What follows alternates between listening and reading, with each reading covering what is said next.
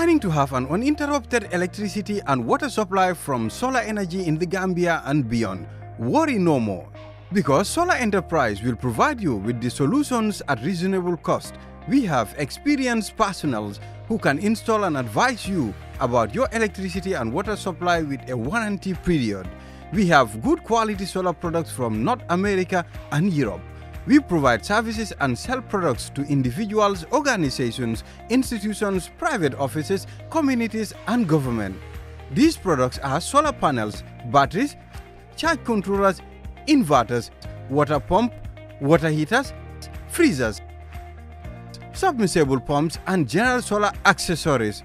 Visit our stores at 48 Kairaba Avenue and Brusubi Highway, or you can call us on 7657 479 980 8483 340 9400 or 635 9906.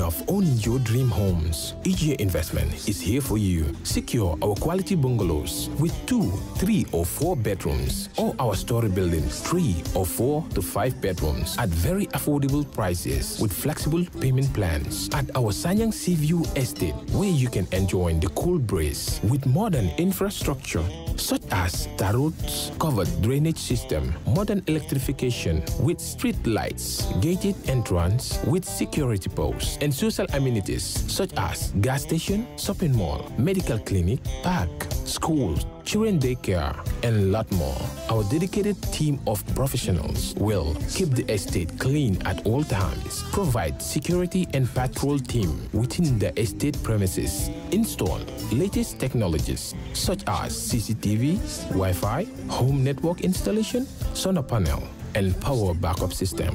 Also, check out for our additional home facilities and interior design service such as premium tiling, wall plaster, home landscape, fingerprint home lock, and a lot more. Visit our office at Senegambia Kololi Highway and get a free site visit tour or contact us on 4464-838. WhatsApp us on 3259220 or you can visit our Facebook page or Instagram on EJ Investments. EJ Investments, we are first in properties.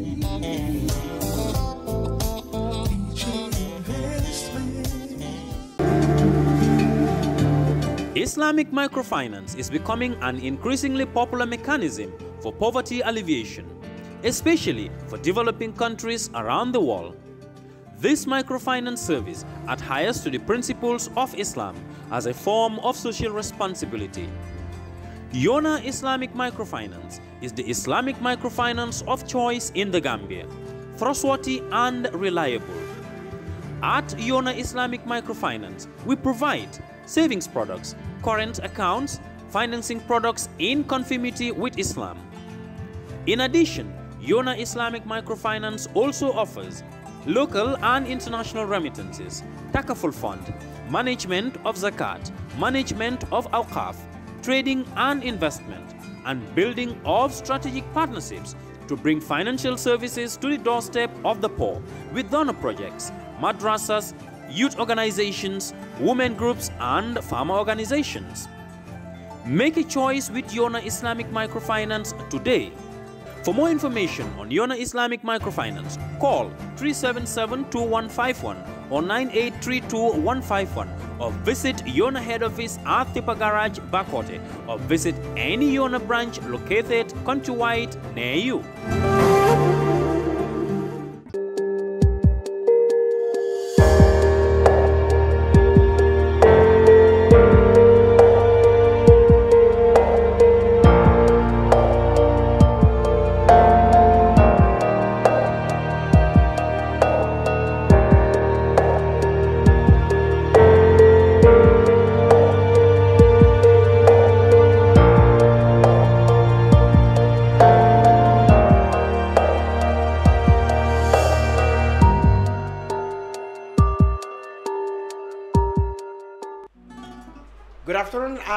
Welcome to the brunch on Kerr Fatou Life. I am Lamin Cham and sit back to follow your weekly current affairs program on this channel. This week, we continue our coverage of the 2021 presidential elections, the aftermath, of course, of uh, developments that uh, happened uh, after the declaration of the results, which declared President Adama Barrow winner for another five-year term. Of course, there have been uh, developments such as election petitions, uh, among other things. We will also discuss other current affairs, for example, the police and the army, a mix-up or perhaps a misunderstanding as to the news of arrests of armed men in our seas. We will discuss all that and give you updates. First though, let me introduce uh, my guest in the studio, Lamin Dampha. He is the CEO and founder of CepRass, that is the Center for Policy Research and Strategic Studies. CepRass, well known in the period leading up to the elections for, wow, rather controversially predicting that the National People's Party of President Barrow is likely or was likely to win the elections. The polls, the polls, polls came twice. And, well, the rest they said is history. But of course, Mr. Dampha and his team are feeling vindicated that the results have come to pass the way they predicted. We will have a chat with him and get him answer some of the questions, doubts, if you like, which have been thrown to them since uh, they came out with the first poll. Now, I also with Sanaba Jawla. He is the senior program officer for Beakanyang. BA Kanyang is an, a local NGO which uh, focuses on development advocacy and, of course, human rights issues. They too were involved among the civic society organizations who watched and observed the election process. We will discuss with him about uh, that and the state of human rights since 2017 and now. So, gentlemen, welcome to the brunch. Um, thank you very much. Thank you very much, Mr. Cham. And then, your, yeah, that's right. Your mic is now on. Yeah, thank you very much, and it's a pleasure to be with you today. Thank you. Sanaba, welcome. Um, thank you so much, Mr. Cham. It's a pleasure to be here. Good. I hope you feel all right because you are very concerned with equality. Hence, you, uh, uh your, your organization's name, Beakanyang. yeah. you are all, you are all, you are all right. Yes. Good. All right. Um, let's talk to Mr. Dampha. All right. The elections are over. You and your group pioneered uh, something that really um, I know will, will transform and, and, and, and, and, and perhaps um, revolutionize um, election prediction or polling, uh, you know, polls, opinion polls in the country. Um, you twice during the period in the campaign, you predicted that NPP is likely to win the elections. You even came out with, a, you know, a, a rather uh, descriptive, you know, description and distribution of where those victories will be around the country. Now, much of what you have predicted have come to pass. But then, of course, you came under fire uh, at a time, people expressing doubt about your survey. You defended your methods. Uh, let me go back now to ask and I would like Mr. Uh, Jawla too, if he has any, uh, you know, questions for you. Um, let's go back. When the results were declared, did you notice um, a total vindication, or you still think that your analysis or your predictions could have covered areas that, that came in the results that you did not expect? Generally, how did you feel? Um, well, thank you very much, Mr. Cham. Um, well, opinion polls as they are, you know, always very controversial. Mm -hmm. So um, we are aware of that. Even at the time we are conceiving the idea of organizing the opinion poll. Um, we know the ramification, of course, you know, the sensitive nature of the whole exercise itself. Uh, but notwithstanding, you know, as a country, you know, um, of course, when the change of government came in, you know, our democratic credentials has definitely, you know, rise. And of course, opinion poll as such is also a very important indicator on our growing democracy as a country. Now, obviously, when the the first results were released on the opinion poll, you know, um, making the NPP leading in the likely candidate to win. Of course, there were mixed reaction. Of course, you know, those it does not favor, you know, were dismissive completely. You know, not only of our methodology, you know, and then there are host of issues. I mean, we are, are aware of that, and then we are alive with it. That um, you know, those are the kind of reception, perhaps, you know, we can we will expect. Bear in mind that um, Gambia has never done this kind of scientific poll in the past. So to make people understand and believe, especially on our methodology, it's not going to be an easy task. You know, but again, we were also on a mission to ensure that um, we do this perfectly, and there's no way that um, we should make mistake. uh, You know, with regards to how we conduct this poll. So I mean, um, when the the entire idea came up, we thinking of how do we go about it, especially getting a frame, a, a sampling frame mm-hmm. that we can rely on and then try to make our sample and then get our respondent, call them and then try to get the information that we are looking for. Mm-hmm. That, wa- that was quite difficult. You know, we thought of, you know, different, you know, methods, frames to use, but under the circumstance, it was not possible. But the best frame at the time we could use was the integrated household survey, you know, which had telephone numbers assigned to the household. I mean, that itself was, you know, um, a random sample that was done by GBOS, and we felt that um, it is a quite a credible data that we can rely on. So without hesitation, we have also had to look at, you know, the voter register, for example, you know, to use the proportion of that, you know, so that we also take into account, you know, the number of voters in each constituency in the country. So those are some of the dynamics we look at, and of course, even in terms of gender and the youths are all being factored in our sampling, even though you know we had issues along the way not to meet the IEC registered number of you know um, um, female in terms of uh, 52.5 percent to our 32 percent. But even though there are some of those problems, research definitely had to come up with those kind of challenges. But the the method itself had been you know very robust to ensure that um, we are able to do these things you know very well.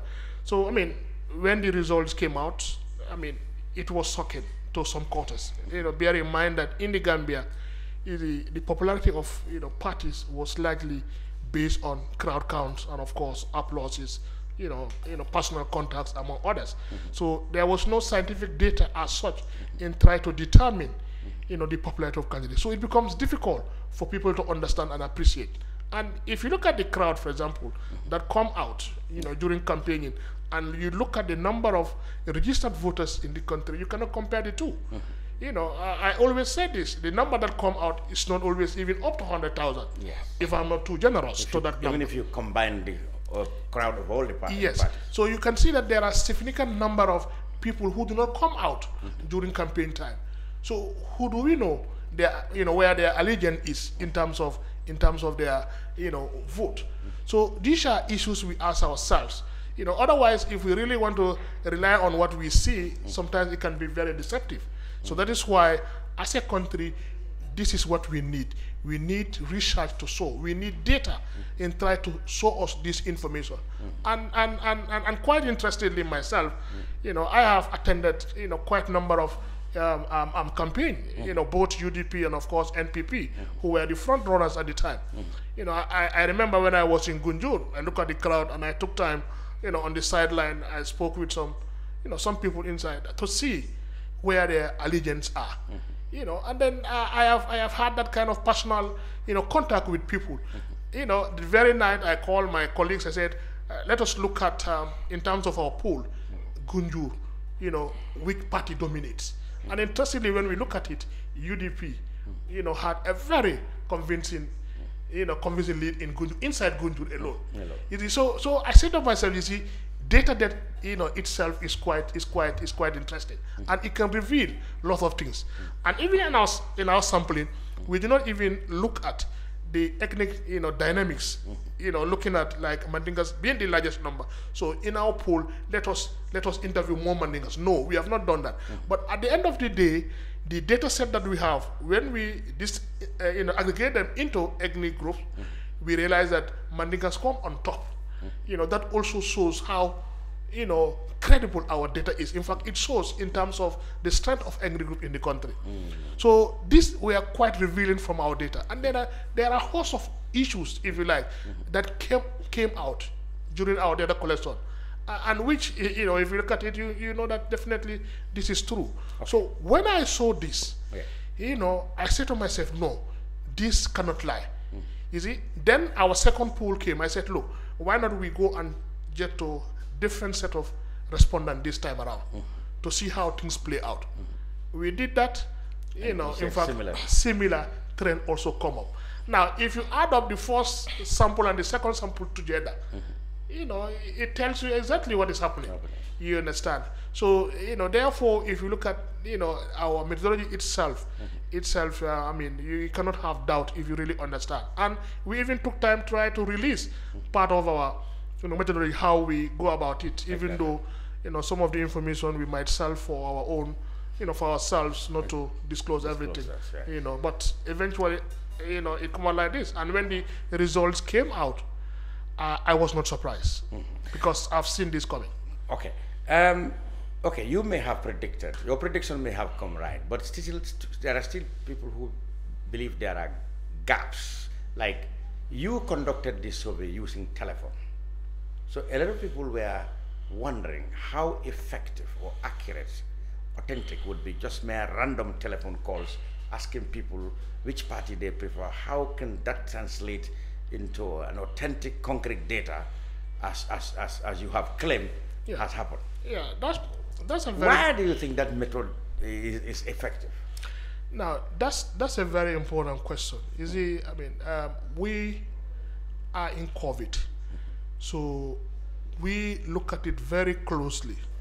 You know, some of the you know problem that may I have if you want to go face to face. In fact, even before we get to this survey, you know, we have had opportunity to, you know, we've conducted some number of, I mean, surveys using telephone. In fact, um, one thing that motivated us was some of our counterparts like C4ED, that is Center for Evaluation and Development, based in Germany. So they are normally do impact evaluation, and then they introduce that uh, we go into telephone survey. You know, I mean, uh, with the technical backstopping, you know, and some of the, you know, techniques our our enumerator were exposed to. You know, it's a very interesting area. I mean, the world is moving very fast. You know, I mean, it cannot be business as usual. You see, eh, um, previously we used to get these, um, you know, questionnaires on a piece of paper. We go around. Yeah. I mean, they are laborious Most surveys are you like know, that. now we've now changed. Even at our center at CepRass, Yeah. we use tablets. You know, and this tablet, in fact, we have our own server cloud where we use survey solution, you know, softwares, you mm. understand, mm. put in the system, and in real time, you know, as the data is being collected, you also analyze the data and then try to, you know, check in terms of accuracy and other quality control. Mm. So you see, it, it gives you real time. And interestingly, you know, the moment those data are being collected as well, you can see where there are issues. Mm. These are things that we've been taught by our partner organization like C4ED. Mm-hmm. So each, each every day they will do a review and send their report to see where there are issues. You need to fix this area. There's inconsistency here and there. Mm. You see, so already that know-how has already been transferred to CepRass. This gave us the motivation. Look, let's go into telephone survey. And in fact, it became easier when we had that frame that had all the numbers, and that was most recent. All the numbers. How did you the country. come by the numbers? Well, these are when the um, the, the the integrated household survey was conducted. Yeah. They also collect alongside That's GBOS, right? Ajibos Yeah. alongside their telephone number. numbers. And even our survey itself, the moment we interview, we also request for a number that you are always reachable, on. And in fact, um, if you look at it itself, uh, the survey itself, when we call a respondent, we had, we, you know, we have to take time to explain to them how we get their number and what we are doing, you know, for them to understand, what we are doing exactly. Then we seek their consent. We, we will sort their consent. If they accept it, then we go ahead. And if you look at our, you know, questions also, it looked at host of issues, you know, not limited to the intention to vote or the likely candidate to win. You know, you know, these are questions of national interest. And normally the, the interview might take up to 45, 30, or even one hour. So Wow. yes. Who, who pays that bill? of course. Well, Surprise. surprise our funders pay that so, bill. how do you do? You use different networks for different networks. Exactly. We use different networks. QCell for QCell, AfriCell e- for AfriCell. Exactly. So that is a strategy that we use. Mm. So we have our supervisor who ensure that he give, you know, he will always give airtime to our enumerator to ensure that they are able to do their work. And this is done, you know, in a call center that we created. created. Ourselves are there, so everything is open. You know, I mean, they are not on their. I, own. I, I suppose you did a lot, you, you, tr- you recorded some and I have to transcribe them. Oh. Uh, no, in fact, what is as these interviews we conducted is being put into the system, the system. Ah. where the system will pick it.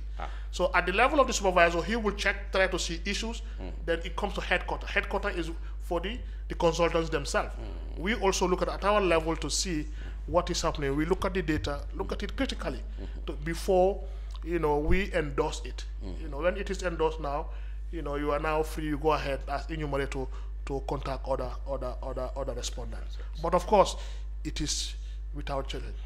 We Okay, you let's let's talk about let's let's still deal with the successes first, uh, and then we'll come to the we'll come to the challenges. So, when it uh, dawned on you that you have uh, really uh, no laboriously or accurately accumulated this information and believe in the in, in, in the results it is given you, when you published it, you mentioned there have been mixed. We all know there have been mixed reactions. Yeah.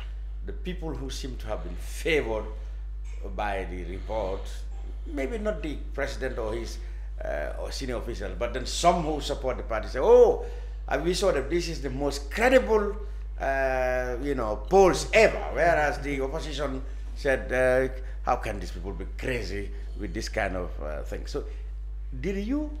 One would like to wonder: Did you have any personal or as a group contact from any of the key stakeholders when the when the election when the when the polls when you release the polls did anybody contact you from npp officers or udp officers complaining or npp congratulating Uh, no, we have not uh, received that. In fact, uh, uh, when we release the results, you know, whether it is NPP or UDP, they have not contacted us directly, try to lodge their complaint as such. We've also, yes, if we, we, we also learn from the media, Yeah, you know, their the endorsement reactions. and of course their, you know, rejection, you know, of, of, of the polls. Okay. But they do not directly contact us, even though um, during the release of our first poll, we invited um, all the political parties. oh you You know, invited them Yes, even though the invitation went, uh, you know, pretty late, Mm-hmm. you know, because ourselves we were trying to put, you know, a lot of things what were you trying to achieve by inviting them I mean, uh, the whole idea was um of this opinion poll is not try to give undue advantage of any um, um, candidate over the other. But the whole idea is, I mean, so, so that's textual when you have a poll right in the middle of the campaign yeah. that's don't you think that's what lends credence to suspicions that are you not trying to favor psychologically one side at the time? Didn't you think didn't you don't you think your results could could inadvertently even you know even inevitably or inadvertently uh, result in such a way? Like uh, giving a psychological boost to the other side well, if you look at you it, may not intend it but yeah, yeah, but if you look at it, the first poll came in before The campaign start. before campaign starts. Ah. Now, I mean, that, and of course, when the first poll came out, we have seen, you know, in terms of uh, undecided voters was, you know, quite big. Mm-hmm. So, you know, we felt that um, uh, in, a, in run up to elections, for example, Mm-hmm. maybe two weeks before voting, could be a best time to gauge people's own perception. Perception. You know, you're able to get that they have now make up their mind, Minds. and you know, and then they can speak freely to us. Yeah. Actually, the candidate they want to vote. Mm-hmm. So we felt it was the right time, mm-hmm. and and- and bear in mind that now this is the time political parties are also selling their agenda mm-hmm. to the electorate. You know. And in fact, if you look at it, one of the questions we, we have asked mm. is what are some of the factors you consider before you even vote for a candidate? Mm. And one of the options that came out mm. was the campaign promises and so on. So we say now people must have heard from different political parties, and now they are now decided on to vote. Even though others might, just like you've been, you have indicated, think that it might, you know, inadvertently give advantage to a certain group. I mean, you know, that has happened was never intended as such, but our thinking at the time was, I mean, it would have been the best time to, I mean, gauge people's honest opinion as far as you know issues of national interest is concerned. So therefore, if um, um, um, if polls are conducted at that time, you know, very close to elections, so a lot of things could have been you know looked at by the you know the potential voters, you know, and now they have made their decision that uh, this is the party that they are going to vote for. So that that was the actual you know, uh, I mean, reason why we, we, we did that, even though I have said, you know, we're going to do another one to gauge how far as the incoming president, you know, in terms of his promises, mm-hmm. you know, whether he's up to the task to mm-hmm. deliver. Mm-hmm. You know, this is going to be another interesting poll that Let's we are going to we are going to do in of 100 days the, of the new president. Wow. 100 days in power. Perhaps soon you will fall out with uh, those, those who think took you favor them. That's that's how researchers or journalists work. It's always yeah. uh, today they approve you, tomorrow they said you are a hypocrite. Uh, now you mentioned that a lot of people pick on these predictions, which which party will win. But you said there's a whole lot of information you gathered, which are not necessarily that, which many people actually oversighted or didn't even look at. Yeah. What are those important information data you come across in yes. the process? I mean, we've we've looked at, for example, you know, the chances of a peaceful election. Okay. You know, these are issues we've, we've looked at. Okay. You know, peaceful election, and ah, if we, and many people did not project that. But did you say there was going to be violence? Uh, no, we don't. But because if you look at that, the the, the response from the people, mm-hmm. you know, I mean, between you have, you know, over fifty percent mm-hmm. who say that there are you know, um, between 75 to 100 percent chance that there will be peace in the ah, country. Between 75 to 100. 100 percent. So that is, you know, uh, you know, I believe that um, Gambia is a peaceful country, so we continue to enjoy our peace. So those are information that came, and, and even election with COVID. Okay. You know, we talk about people. We even ask whether because of COVID mm. the election could election be postponed, mm. and what are going to be the ramifications, some of the dangers okay. if IEC decide to I mean, uh, postpone the election. Mm-hmm. So this question was asked in the first poll. Mm. You know, try to send a message to IEC mm-hmm. what people are saying. Say, yes. uh, and eventually people said that would be very dangerous yeah. for our country for election to be postponed. yes. So that is another place where IEC could take. I mean, we also asked, in, I mean, uh, questions on uh, uh, even the performance of government mm-hmm. in terms of, you know, uh, economy, um, security, mm-hmm. I mean, and other host of questions. And, and, and, and, and how many people give them high mark? Or well, it, it, it, it, was it was it was mixed. In fact, I, I, remember this question was asked to me by Alaji. He said, you yeah. know, with the kind of endemic corruption and other issues here, yes. but we've seen Barrow went ahead and to try to you know you know sweep the yeah. sweep the poll. So I mean, you know, I mean, the questions we, we ask now. Yeah. Uh, how how do we genuinely vote? Mm. You know, is it on policies or personalities? Okay, we are coming to that. What? Mr. Jawla, would you, did you, would you observe anything that you want him to clarify? Yeah, um, the, their polls were very interesting, and uh, even well before the commencement of the campaign, mm. the force that they've released, um, it was obvious that all of us were not going to agree because uh, it was going to be a favor for the other side, mm -hmm. and some would feel that it is not in their interest. Mm -hmm. But again, um, that is what data would always show. And one thing that I've observed, and uh, I would always want to question, mm -hmm. is dating back to the history that we're coming from, uh, from dictatorship. The fear that people have when they are on phone with a person that they don't know. Oh. So if such a data collection method is deployed, um, knowing just our recent history, that who is likely to win. And obviously, we know that I am on phone even when they have discussed that I am this, I work for this, I work for that. So obviously, could also remind them of our history, just our recent history. And that may not necessarily be the information that they would want to give, but for the fear that it could be used against them at other time. So this was a data collection method that I have always questioned to say that telephone calls even though technology is advancing. But at time, I don't think it is the best option that they could have used because uh, it will always remind people.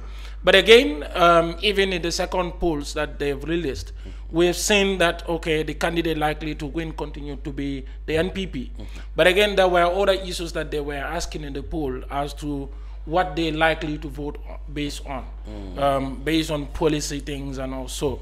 But during the campaign period, we've seen a lot of ethnic mobilization and stuff. But majority in their polls said they're going to vote based on policies. They're going to be, uh, vote based on the manifesto of different candidates. But for me, I'm going to make this as an allegation, sort of, mm-hmm. because for them, theirs is scientific. The data is already provided that these people said they're going to do this. Since there is no other research that is conducted to say that Gambians in 2021 voted based on ethnic lines, based on other things that their research did not talk about. I would say that the campaign was more on ethnic mobilization, regional mobilization, and stuff.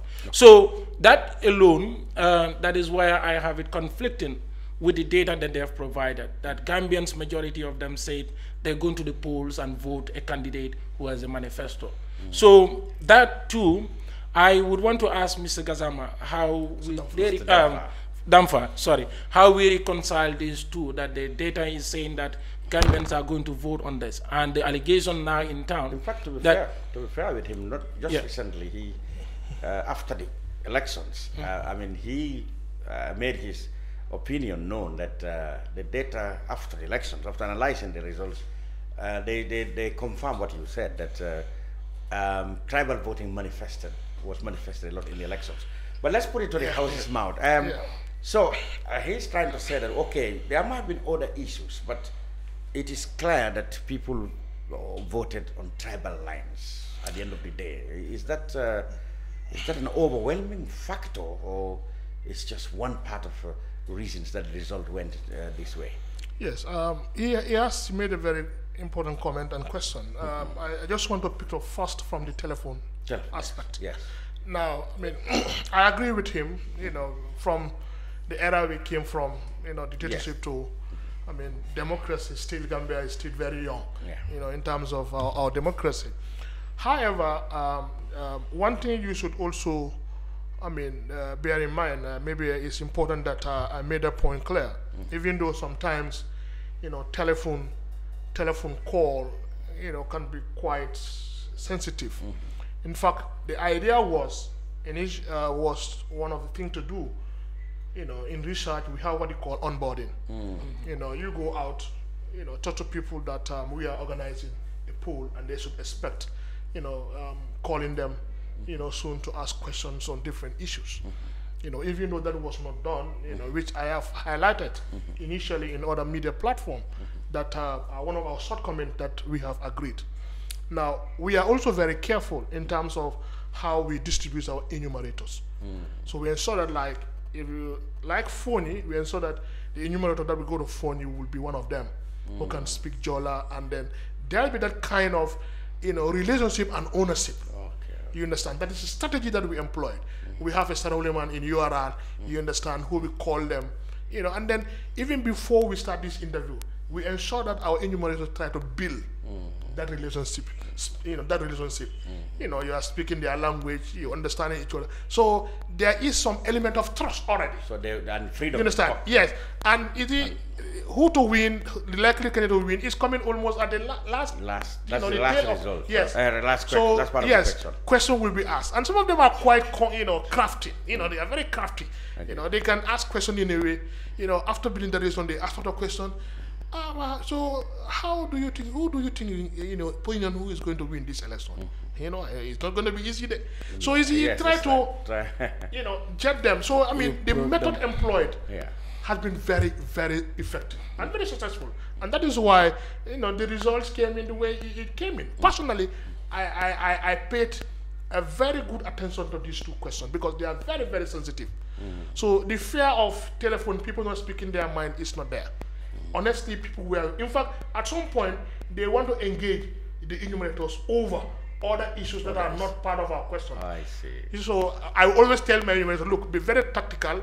Tell them, oh, we congratulate you, thank, thank you for bringing out that, but we are making a lot of calls. So please, you know, in a way, you don't, you don't. So, so I mean, that means, of course, that a lot of progress have been made as he feared from 2017 now in Yes. terms of freedom of expression, exactly. freedom of. A Uh, lot of improvement, and people speak their mind. And those who oppose government, they will say it openly, openly to our enumerators. exactly. quite quite interesting even though there are some you know few issues because especially you want to you call in the rural area for example you want to speak to a female respondent you know some of them might not agree they say no my husband is here husband, so yes, that's what so that that has even resulted in having a lesser Yeah. a lesser response From women. from women and that is why we had ah, only okay. 32 I those are some of the things we had and Oh, now I with see. regards to So even that, because of culturally, of course, Yes. anything that comes, oh, my husband is here. Oh, Whereas this one is asking for you. And that is why that is there is a deliberate question in our questionnaire to ask hmm. who influenced your decision for voting. See. We also try to see, you know, Yes, try to do some, actually some independent. cross some cross tabulation to see, Yeah. you know, what kind of effect will that have in the overall. Overall. So there are a lot of things we look at, and even in terms of asking question, what factors you look at, majority of them talk about campaign promises. Mm. You understand? Mm-hmm. That is what we will say. In the Gambia, we agree that there's tribalism, but people don't talk about it. And Mm. our data has revealed that. Ah, You know, deliberately we do not publish that because of the sensitive nature. of it. yeah. And I avoided talking about it Mm. until after election. It was at standard interview that I made that Clear. declaration. Made that declaration That, you know, when you look at our data Mm-hmm. and, you know, we disaggregate into ethnic groups, Mm. you see that, I mean, uh, Mandinkas were divided Mm. between UDP and NPP. But majority of them are, are for UDP. Mm-hmm. You know, it's like two is to one. You know, you also have other Mandinkas for SFL and other candidates. Okay. But the other tribe, it was massive. Massive in the sense that over 90% of other tribe all went to NPP.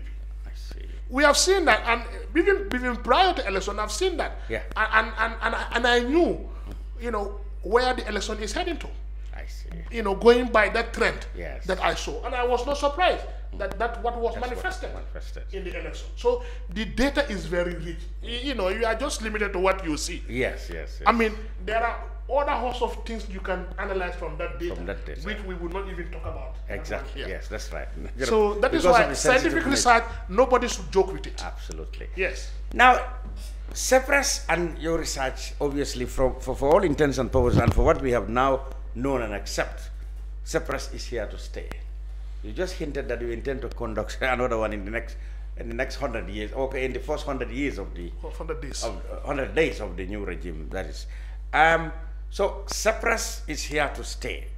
Let me ask you: Do you intend to conduct this kind of opinion polls and elections throughout the election cy- cycle? Yeah, in fact, We uh, have the National Assembly, we have the local government elections. Yes, and uh, uh, I've said that the idea is for CepRass to continue. Um, it's a milestone.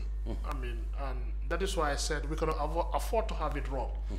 So, I mean, the the endorsement from from across the board when we were vindicated, you know, is enough motivation for CepRass to go all out to ensure that it becomes, you know, a culture within the CepRass organization to ensure that in every election cycle that we conduct poll, we can assure Gambian that CepRass will continue to be uh, an institution for opinion poll in this country, and we will continue to be professional as always to ensure that we give unbiased and a fair and a fair analysis of elections in this country. We continue to do that, and, and then people should be rest assured that uh, we cannot in any way be swayed by any party or whatsoever. But we continue to work in a professional way to ensure that you know, I mean, it's part, it become part of the Gambian culture. We can assure that. Let's uh, let's try to check that uh, independence that you're talking about um, by trying to tell the people what is your source of funding. Where do you get the funding? Because this is where people, your critics, would say, well, you know, uh, uh, perhaps they have been funded by one side or the other. How does CepRass makes money? Well, um, you see, when the CepRass was launched in 2016, I always say this: we could not do any meaningful research at that time. One is because of political climate at the time, and of course, you know, our accounts were were 0 In fact, they were negatives. Nothing absolutely happening. So, I mean, we, we are working, trying to network to see, you know, and luckily in 2017, when there was change of government, Afrobarometer, you know, came in to CepRass, you know, we bid it, and then we become successful. And then that was the first assignment that was given to CepRass to conduct uh, a perception survey in the country in the round seven of Afrobarometer, you know, study, and that was um, a, a, huge success. CepRass, as a national partner, was responsible for recruitment, training, and of course, deployment analysis of the data. Even though we have the technical backstopping from the Afrobarometer team, you know, when that results came out, and in the, you know, in their 20th anniversary in Johannesburg. CepRass was graded as the best newcomer. You know, ah. we were given awards in, in South Africa, and then that further motivated us to go in. So from then in, we started working with both local and international partners. Mm-hmm. You know, we've worked with you know government institution, private, you know, with host of areas, UNDP, UN system, you know, World Bank. I mean, we've also forged link with reputable organizations you know, across Africa and the world, and Europe and in, and in America. We work with C4ED, I said, is the, you know, Impact Evaluation Center in Germany. They are well known for that. In fact, we did a study on, I mean, the impact evaluation on the returning migrants. We have also done studies on COVID uh, with sponsors from IRI and other institutions.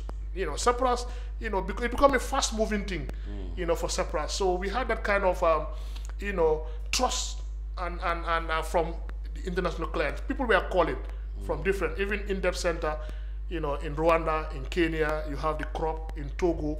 They, all, they all reach out. The Ellen Johnson Sirleaf Foundation, Presidential Foundation in Liberia, reach out, you know, on women issues. So there are hosts of research that CepRass conduct. You know, you can name them. This particular research, you know, even before we get into opinion poll, we had funding from National Endowment for Democracy. Okay, you're Based- coming to the point now. How you get the funding? based in US. They first funded us mm-hmm. on the failed constitutional. Okay. And then when that failed, we had to, you know, change into voter education. Voter education. And we went, we, we crisscrossed the country. Hmm. You know, then we realized that people in the provinces, people outside are well informed hmm. politically. Ah, So then, you know, we asked, I I just asked my colleague, why not we organize an opinion poll, for example? I see. You know, to organize. So this is where the, the whole idea came up, hmm. and then you know we, you know, contacted NED, National Endowment for Democracy, Yeah. sent a proposal, and of course, without hesitation, they trusted us, they accepted. You know, in fact, we even wanted to initially to organize an exit poll. You know, but we looked Ah, at it quite uh, sensitive. sensitive. We said, let us put that, let us grow, Aside. you know, you know, step by step, step by step. and then we go. So our this project is funded by the National Endowment for Democracy, That's and then NED, yeah. NED, they, they they've already committed over sixty thousand dollars Wow. for this project. Fantastic. Yeah. All right. Uh, Mr. Sanaba Jawla of Beakanyang, you, your organization, to part of your activities was, of course, to uh, the observation of the recent election among the, within, uh, I mean, inside the SEO coalition. Um, let me take you through to the election process. What were the key points that you observed during the process in terms of its integrity, you know, credibility, uh, from the voting process right down to uh, the declaration of results, and even after, because like we come into that, we have an election petition pending in the Supreme Court, etc. We, we, were, we are expecting a lawyer to put us through as to uh, what that means, what is apparently not yet in the studio. But how have been Beakanyang's observation? Um, well, I must say the 2021 elections was a quite interesting one. And uh, for the fact that the civil society, including Bekanyang, have been following the process from day one of it, which is we've observed the registration process. And uh, even during the registration process, um, lack of funding was something else. But then we were able to strategically look at it this way, that every phase of the registration process, we were engaged and see how the process was done. And uh, immediately the registration process was closed. Um, our, our report was that it was a fair registration process. And this was also confirmed by even the primary players in it, that is the political parties. Because for the fact that uh, there were no reports of foreigners being registered, uh, minors even at some point we, we've said minors have been registered at some poly, uh, registration centers. But again, um, coming to the person, the person that nobody would not registration process at the registration process at the all confirm process that also been done, been done, and the way we have also. So now, um, closely to the elections day, we have also observed the nomination process, and uh, we could generally say that it was also a fair one. Uh, for those that were rejected, um, their nominations were rejected. At some point, we, we've realized there were procedural gaps that were not met and that have led to the rejection of certain candidates.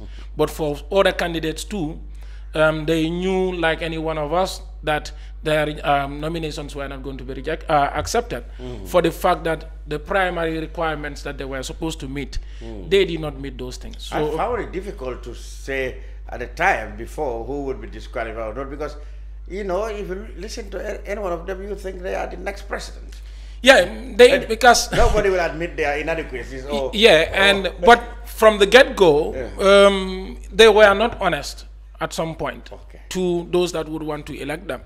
But then we knew very well that some were not qualified. some were just the, pretenders. the, yeah, the requirements were there for everybody to read and understand mm-hmm. that somebody with a dual citizenship cannot ah, qualify oh, okay, to the yes. Yeah, that presidency. was cool, so if you knew very well that you have a dual citizenship and you're telling us that there is a process that you're running, mm-hmm. And obviously you know that you're not telling your electors the truth. So we knew they were going to be rejected. So only uh, for the nomination process where we flagged to say that this process could have been done better was the public scrutiny. Um, what has been communicated to the public, especially to the media and the civil society, and what has been found on the ground were basically different things. That there was going to be a public scrutiny, and our expectation is that we were going to look at it and be informed and also be able to share what has been uh, observed at that process only to be told that you're going to be given this amount of minute and this is what you can spend to say when you have over 23 candidates to look at.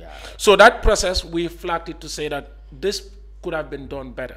So, but the whole election process, we have also observed and we looked at a lot of different issues and there were reports that were coming gradually. Mm-hmm. Uh, when the setting of polls was done at 12 midday, mm. we were able to release a report to mm. say what has been done even before the voting has started. Mm. But again, what has also been done during the voting from that 8 o'clock to the 12 o'clock, the process, how fair has it been? Well, well, how IEC is able to conduct themselves within the law and also within the electoral laws as well. So all that process, what we have observed, um, could be something that any other person could challenge. But for, for, for us, we have found those processes to be very fair, very transparent, and credible as well. So our assessments were basically, we looked at what our critical incident is actually looking at, but also the other forms that we have. Polls, what time they were closed, um, what time they were open, but how was the setting also done? But again, what were the people uh, involved at the setting of the polls? We, we've realized that almost every polling station that you go to, you meet political party agents there, also observing the electoral process. So not just as observers, but also party agents were also present to see the process for themselves. But again, even before the commencement of elections at 8 o'clock, the IEC officials in most of the polls that we go to at that 8 o'clock, they were very transparent with the process because the drums were shown to the public that were there at the time to say that these drums are empty. And the agents that were also there, they were counted the number of marbles that were given and compare it to the voter list. How many marbles are given? What is the number on the voter list? So all that process uh, in our report, we said it is a free, fair process, and we found the process to be very transparent.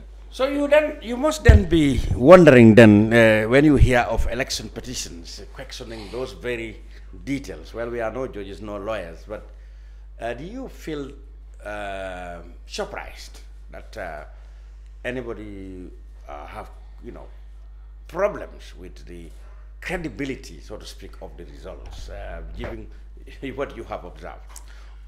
Um, well, on election day, I, I, I am of the belief that our election is such that I don't think it could be rigged on election day. Election day. So if if it is any there were any irregularities, I don't think it has happened on election day. But again, I would have to say, as local observers and even international observers, we are not monitors. Exactly. So there there is this difference of being an observer and also a monitor. At some point, we only looked at what is visible to us. We present our findings based on things that are visible to us. So if there is also another party that says otherwise, um, that cannot discredit the, the report that, that we have published as civil society or even as, as, as an institution. So all along, we were doing an observation. Yeah. And this report also talked about the, uh, the observations that we have done. So I, I, I am surprised, based on the observations that we have done, that somebody could say that there was uh, election malpractice. But even if there was, uh, it is not to the knowledge of the civil society. And even if it is found to be true that there were irregularities, there were uh, the election was rigged, that cannot also discredit the, the data that uh, the report that we have also provided. because our role was only to observe, the election. And what you have and yes definitely so far is above reward. yes. so we we were not basically monitoring. So if political parties were doing the monitoring and they found that there were other things that went wrong during election day that could be something else. But also the civil society we this year i think for the first time in in the history we were able to do a long term observation. You've seen civil society organizations that have also done um, observation since uh, Congress, party Congress. So all those things we were looking at, what is the level playing ground for all these political parties? Uh, what is the atmosphere like? But what is actually the democracy of in, in, in these political parties? They speak about democracy, but is that the is that really the thing that exists in their different political parties?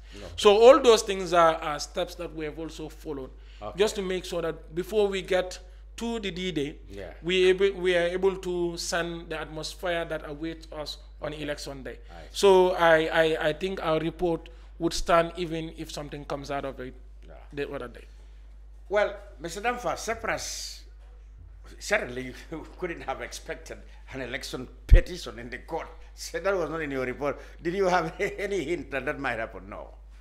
Um, no, I I mean, um, just like uh, my colleague said, Yeah. one uh, election is just election. So, I mean, um, what what I've said in the past is that um, you know every candidate have the right Yes. that's- to express your grievances in the outcome of election at the court of law. So that is um, That is it. sorry, my microphone. Well, Yeah. well, we are on air Yeah. television. Yeah. So what I'm what I'm saying is um, it's um, every candidate's right to challenge Yeah. the outcome of an election if you feel that you are cheated Exactly. in an election. Yeah. So I mean, uh, nobody can make that you know look you know something odd or whatever. Yeah. Maybe the candidate have you know uh, better evidences that the public do not have. So it is only the the court Mm-hmm. Yeah. you know who will decide you know either ways you know whether to you know uphold or whatever annul the, the elections. But um, um, what is important as far as I am concerned on a, at a personal level, Yeah. you know, I think the whole petition to me is um, bigger than either to annul the elections or the results or not. But to me, I mean, uh, for posterity, it might also set, mm-hmm. you know, some kind of precedent to ensure that mm-hmm. in the coming elections, mm-hmm. there will be a level playing ground. Okay. You know, because if you look at some of the issues raised, you know, by the political parties in their petition, Yes. you know, would also is a request, if you like, Yeah. for a level playing ground that we do not have an incumbent who will want to, you know, take Yeah. over everything. Okay. But instead, there should be a level playing ground. So, I mean, you know, the, the, the other advantage we might get Yeah. from the ruling, whatever, might be in the interest of, you know, future politicians as well. So what you are saying is at least wh- whatever outcome, the lessons that we may learn Yeah. from this election um, protect, um, I mean, petition might be that uh, it may help the future elections. Future elections uh, to be, you know, better organized or perhaps more transparent than uh, that, that, that, than the ones that have passed. E- Exactly. You agree with that? Yeah, I, I quite agree because uh, you looked at the recommendations that were also provided Yeah. um, by the EU, the AU, the Elders Commission, and even the local observers. These were some of the recommendations that we've also made. Exactly. Um, that there is not enough political playing field for all the players. It is not that level. So at some at some point, it is the incumbent that is having advantage over any other. So you look at the prayers of the petition, um, issues that are highlighted there. Whether it is to say that the election results will be annulled and a fresh election would be called, that is something else. But whatever the ruling is, it is going to add a lot to our democratization process, going to be, and like it is going to build a legal precedent. Yes, it is going to build this country better. Mm-hmm. Because it is going to, anytime somebody could reference it anywhere to say that in 2021 mm-hmm. or 2022, the ruling of this was that. Mm-hmm. So every player that is going into the field will know that this is what I am supposed to do and this is what I cannot do. Um, having to, allegedly, having to have ministers, state ministers, live in their office or public servants live in their offices to go into the campaign terrain and campaign for the incumbent.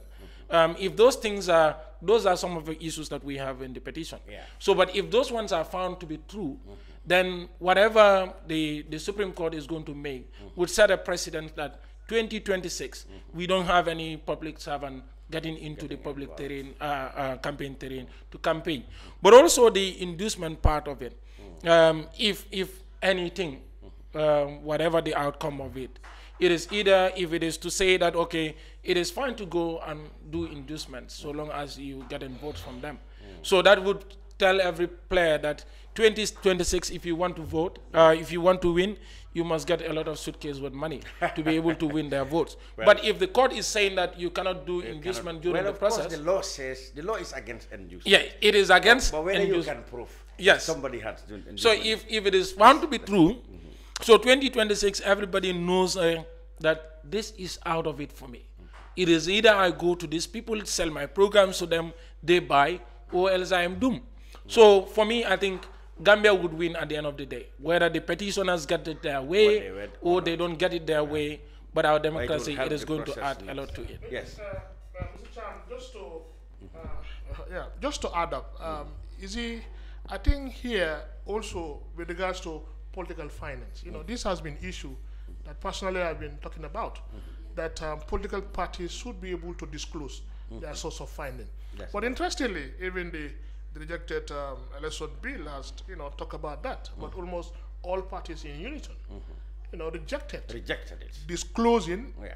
their source of funding. Yeah. So you see, unless we have that clause in our electoral law Yeah. that all political parties disclose their source of funding, it becomes difficult Yeah, and even to, the, to, to track and, even, know. and even the bit about uh, alkalo attestations.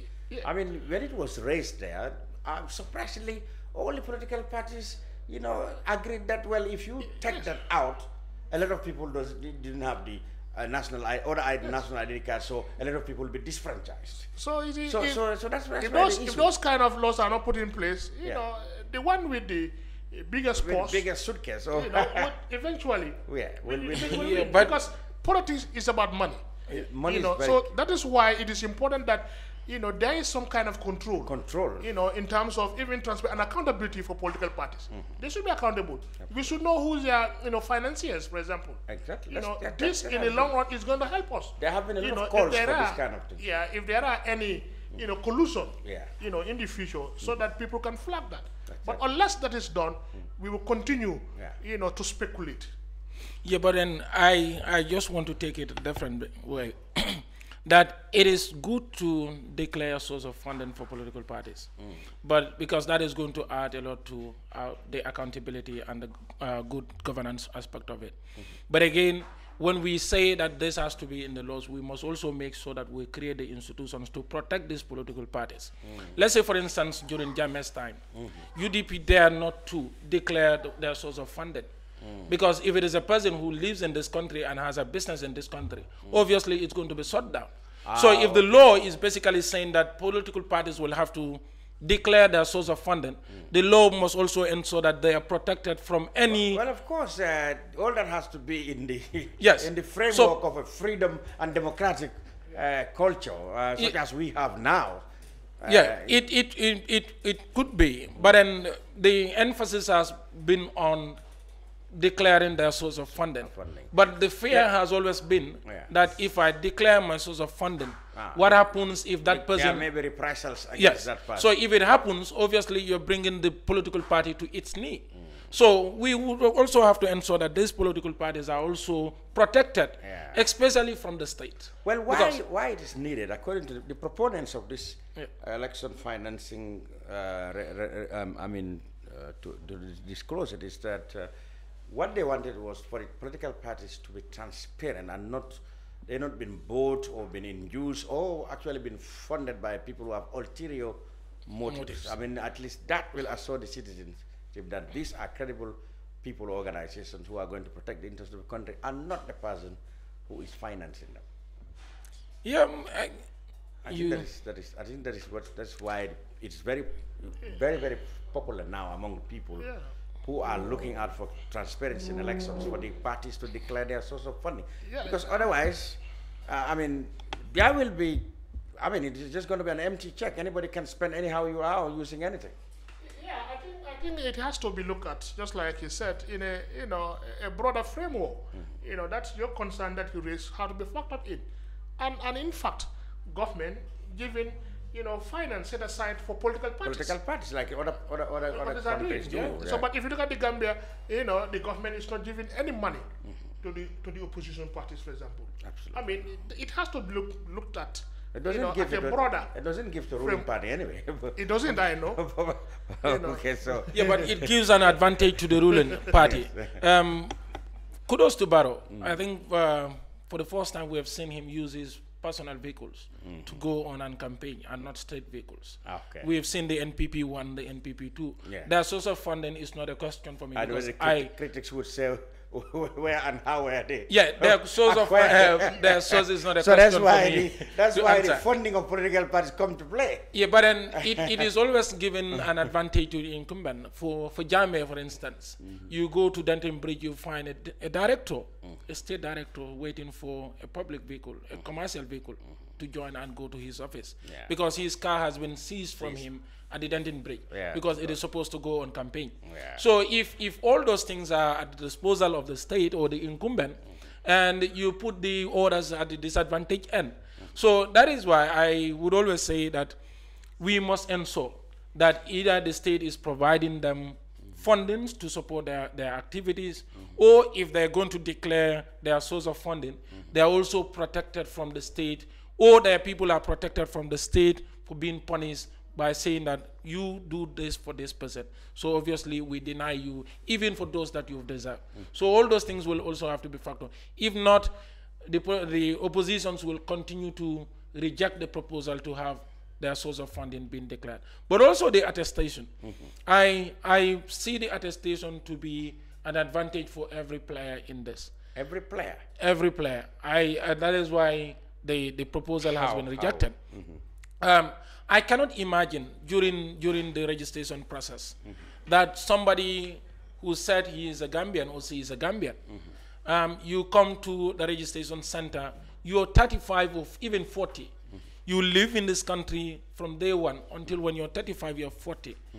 You're telling people that you don't have any document to show that you're a Gambian. You go to the Alkalo, and the Alkalo provides for you. But also for those that do not even meet the requirement, the age requirement, that the easiest way that they could get registered is to go and get an attestation.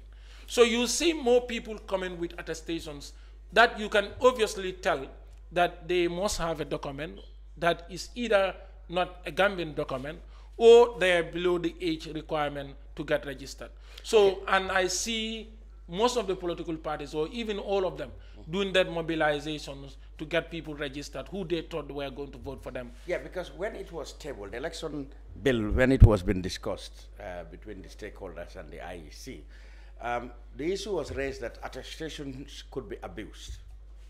But like I said, interestingly, all the political parties agreed that it must stay because uh, otherwise a lot of people will be disenfranchised because they don't have the other national identity documents like passport and ID card. But the issue now here is, it remains definitely as a fact that it can be abused. Yes. And in fact, some, some of the opposition have already started making those allegations that this, it was abused. Because, you know, the Alkalolu and the Sefolu naturally um, are under the authority of the Minister of Local Government, who, who is uh, under the authority of uh, uh, one of the candidates, the president, etc. So they believe that this Alkalolu and Sefolu can be used to abuse the system in favor of a political party. But then, of course, you know, I think in future elections, I can tell you, I can tell you for it for free, the stakeholders will not accept this um, attestation anymore. There has to be a way to get everybody issued with a birth certificate or a passport or ID card. This attestation, I can tell you, will will not will not will not last the future elections because because of what I've, the reasons I've told you. Yeah, and it agrees to the earlier statement that all of us have made here mm-hmm. that whatever the outcome of the Supreme Court ruling, mm-hmm. it is going to add a lot to our democracy. Exactly. So, since this is also part of their prayers to mm-hmm. say that um, attestations have been issued to minors and also foreigners. Mm-hmm. So, let's say, for instance, they, they something is passed to say that attestations cannot be issued again for presidential elections. Yeah, because they cannot guarantee the integrity of Yes. the process. That is, whether Alkalolu or Sefolu- So, whatever, It's, it's whether- only more ideal if, Yeah. if at all there's honesty and integrity, it's okay. It can serve everybody's purpose. But then, if of, if of course Alkalolu and Sefolu allegedly are favoring one side of it, then it becomes an issue. That's why I'm saying that uh, it may definitely not be among the requirements it may not in the be, next in the and next um, election, of course. even for the issue of birth certificate until it is standardized. yes, Um, that, that can in the long run, abused, I foresee it to be out of the equation. Of the equation. You have a birth certificate and you want to be registered, you'll be rejected because it Finally, is also open to Very abuse. quickly, um, you, the whole world, of course, marked International Human Rights Day, and I know your organization also have a program of human rights advocacy. Very quickly, because we are running out of time, um, how will you compare this human rights situation in the Gambia?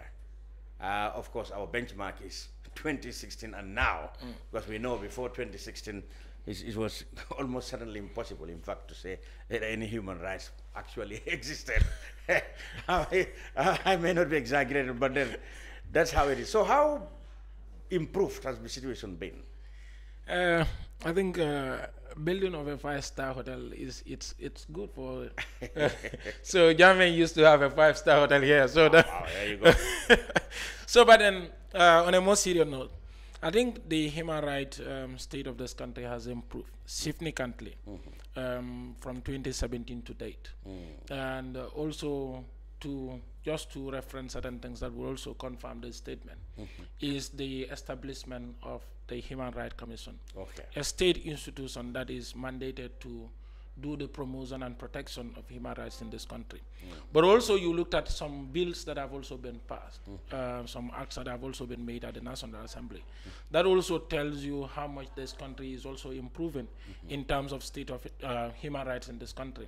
The Access to Information Bill, for instance, um, act. That alone is also, even though there are there exists some other uh, um, criminal laws, the, the sedition, the defamation, and other stuff. But also, even for the public order, uh, wherein you'll have to uh, apply for permits, even though they exist. But we can see generally an improvement that when you apply for a permit, in most instances, it is provided for you. Wherein, even if it is not provided to you, at the day that you want to hold the event, the IG would invite um, invite you and provide you an alternative date to say that this is the situation, the security situation of the country as it is. So that is quite an improvement. But also the disability bill. This is also another to confirm Okay. that our human rights status in this country is also improving. Hmm. Because human right basically looks at everybody to say that every individual, regardless of your age, regardless of your race, ethnicity, or wherever you're coming from, hmm. you have a right. So the, the people with, who are physically challenged in our society have a right, but also these rights have not been protected mostly by the state. But again, generally, even uh, we say that there are improvements, but also, however, we will say there is also a room for improvement. Uh, for, for instance, our, our constitution mm. has made primary education compulsory Okay. for, for every Gambian child. But But, but is this the case? Mm. My, my, my brother and sister in the village mm. does not have this opportunity that I'm availed to. So if you say that the, the, it is compulsory for every Gambian There has child, to be a system. when there is no accessibility, there is no affordability for every individual, meaning you only have it, but then you're not doing the fulfillment. So rights are for protection, promotion, and also fulfillment. So when you have them, when you promote them, you have them uh, in your laws, you now protect them. But again, the state go the extra mile to also make when sure you that said primary education is compulsory, and now you want to, you wonder reasons it's not happening. Where did responsibility lie? In the parent or in the authorities?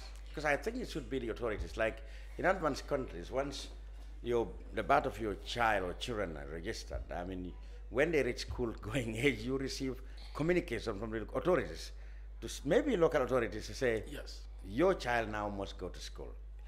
We don't have that here. Well, who, who, who would you blame, parent or the enforcing authorities?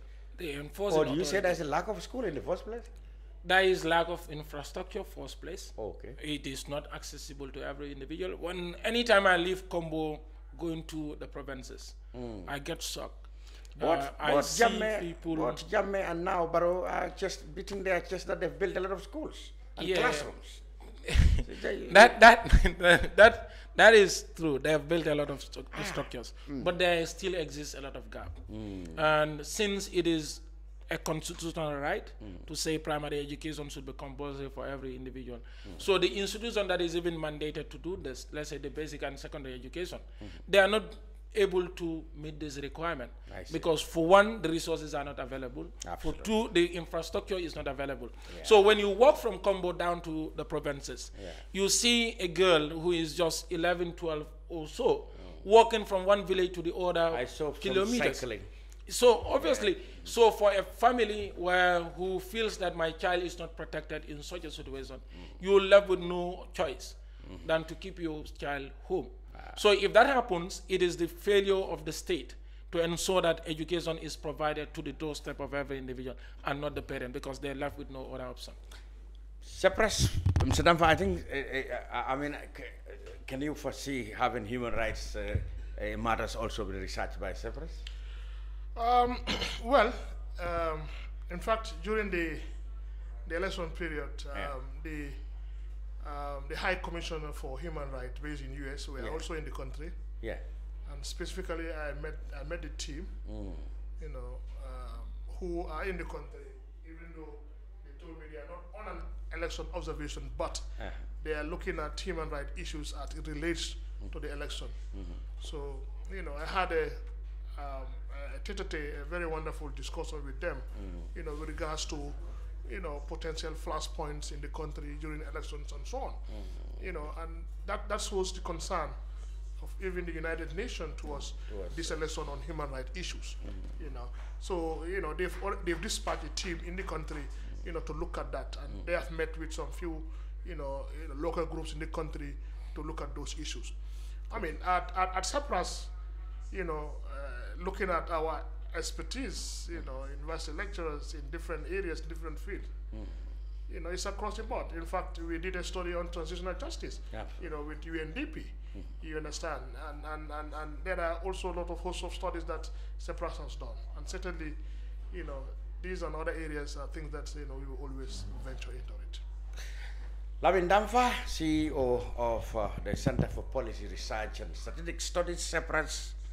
Uh, thank you very much for sharing your insights with the brunch. And Sanaba Jawla is the Senior Program Officer for Beakanyang, uh, non-profit profit NGO uh, who operates in uh, human rights and development advocacy. Thank you very much, gentlemen, for being on the brunch. The brunch continues after this break with an update on the Gambia's preparations to take part in the Africa Cup of Nations in Cameroon starting January the 9th. We'll be back with that after this break. Planning to have an uninterrupted electricity and water supply from solar energy in the Gambia and beyond? Worry no more. Because Solar Enterprise will provide you with the solutions at reasonable cost. We have experienced personals who can install and advise you about your electricity and water supply with a warranty period. We have good quality solar products from North America and Europe. We provide services and sell products to individuals, organizations, institutions, private offices, communities, and government. These products are solar panels, batteries, charge controllers, inverters, water pump, water heaters, freezers, submersible pumps, and general solar accessories. Visit our stores at 48 Kairaba Avenue and Brusubi Highway, or you can call us on 7657 479 980 8483 340 9400 or 635 9906. Thinking of owning your dream homes? EGA Investment is here for you. Secure our quality bungalows with two, three, or four bedrooms, or our story buildings, three or four to five bedrooms at very affordable prices with flexible payment plans at our Sanyang Seaview Estate, where you can enjoy the cool breeze with modern infrastructure such as tar roads, covered drainage system, modern electrification with street lights, gated entrance with security posts, and social amenities such as gas station, shopping mall, medical clinic, park, schools, children daycare, and a lot more.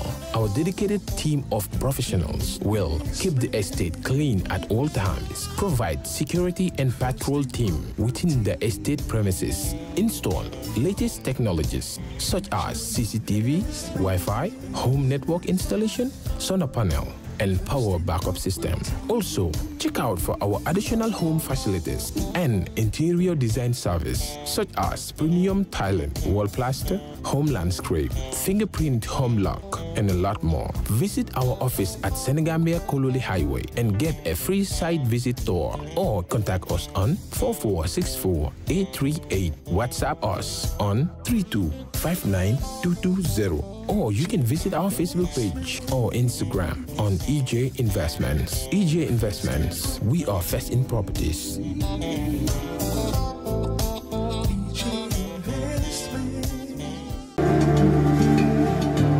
Islamic microfinance is becoming an increasingly popular mechanism for poverty alleviation, especially for developing countries around the world. This microfinance service adheres to the principles of Islam as a form of social responsibility. Yona Islamic Microfinance is the Islamic microfinance of choice in the Gambia, trustworthy and reliable. At Yona Islamic Microfinance, we provide savings products, current accounts, financing products in conformity with Islam. In addition, Yona Islamic Microfinance also offers local and international remittances, Takaful Fund, management of zakat, management of awqaf, trading and investment, and building of strategic partnerships to bring financial services to the doorstep of the poor with donor projects, madrasas, youth organizations, women groups, and farmer organizations. Make a choice with Yona Islamic Microfinance today. For more information on Yona Islamic Microfinance, call 377-2151 or 9832-151 or visit Yona head office at Tippa Garage, Bakoteh or visit any Yona branch located countrywide near you.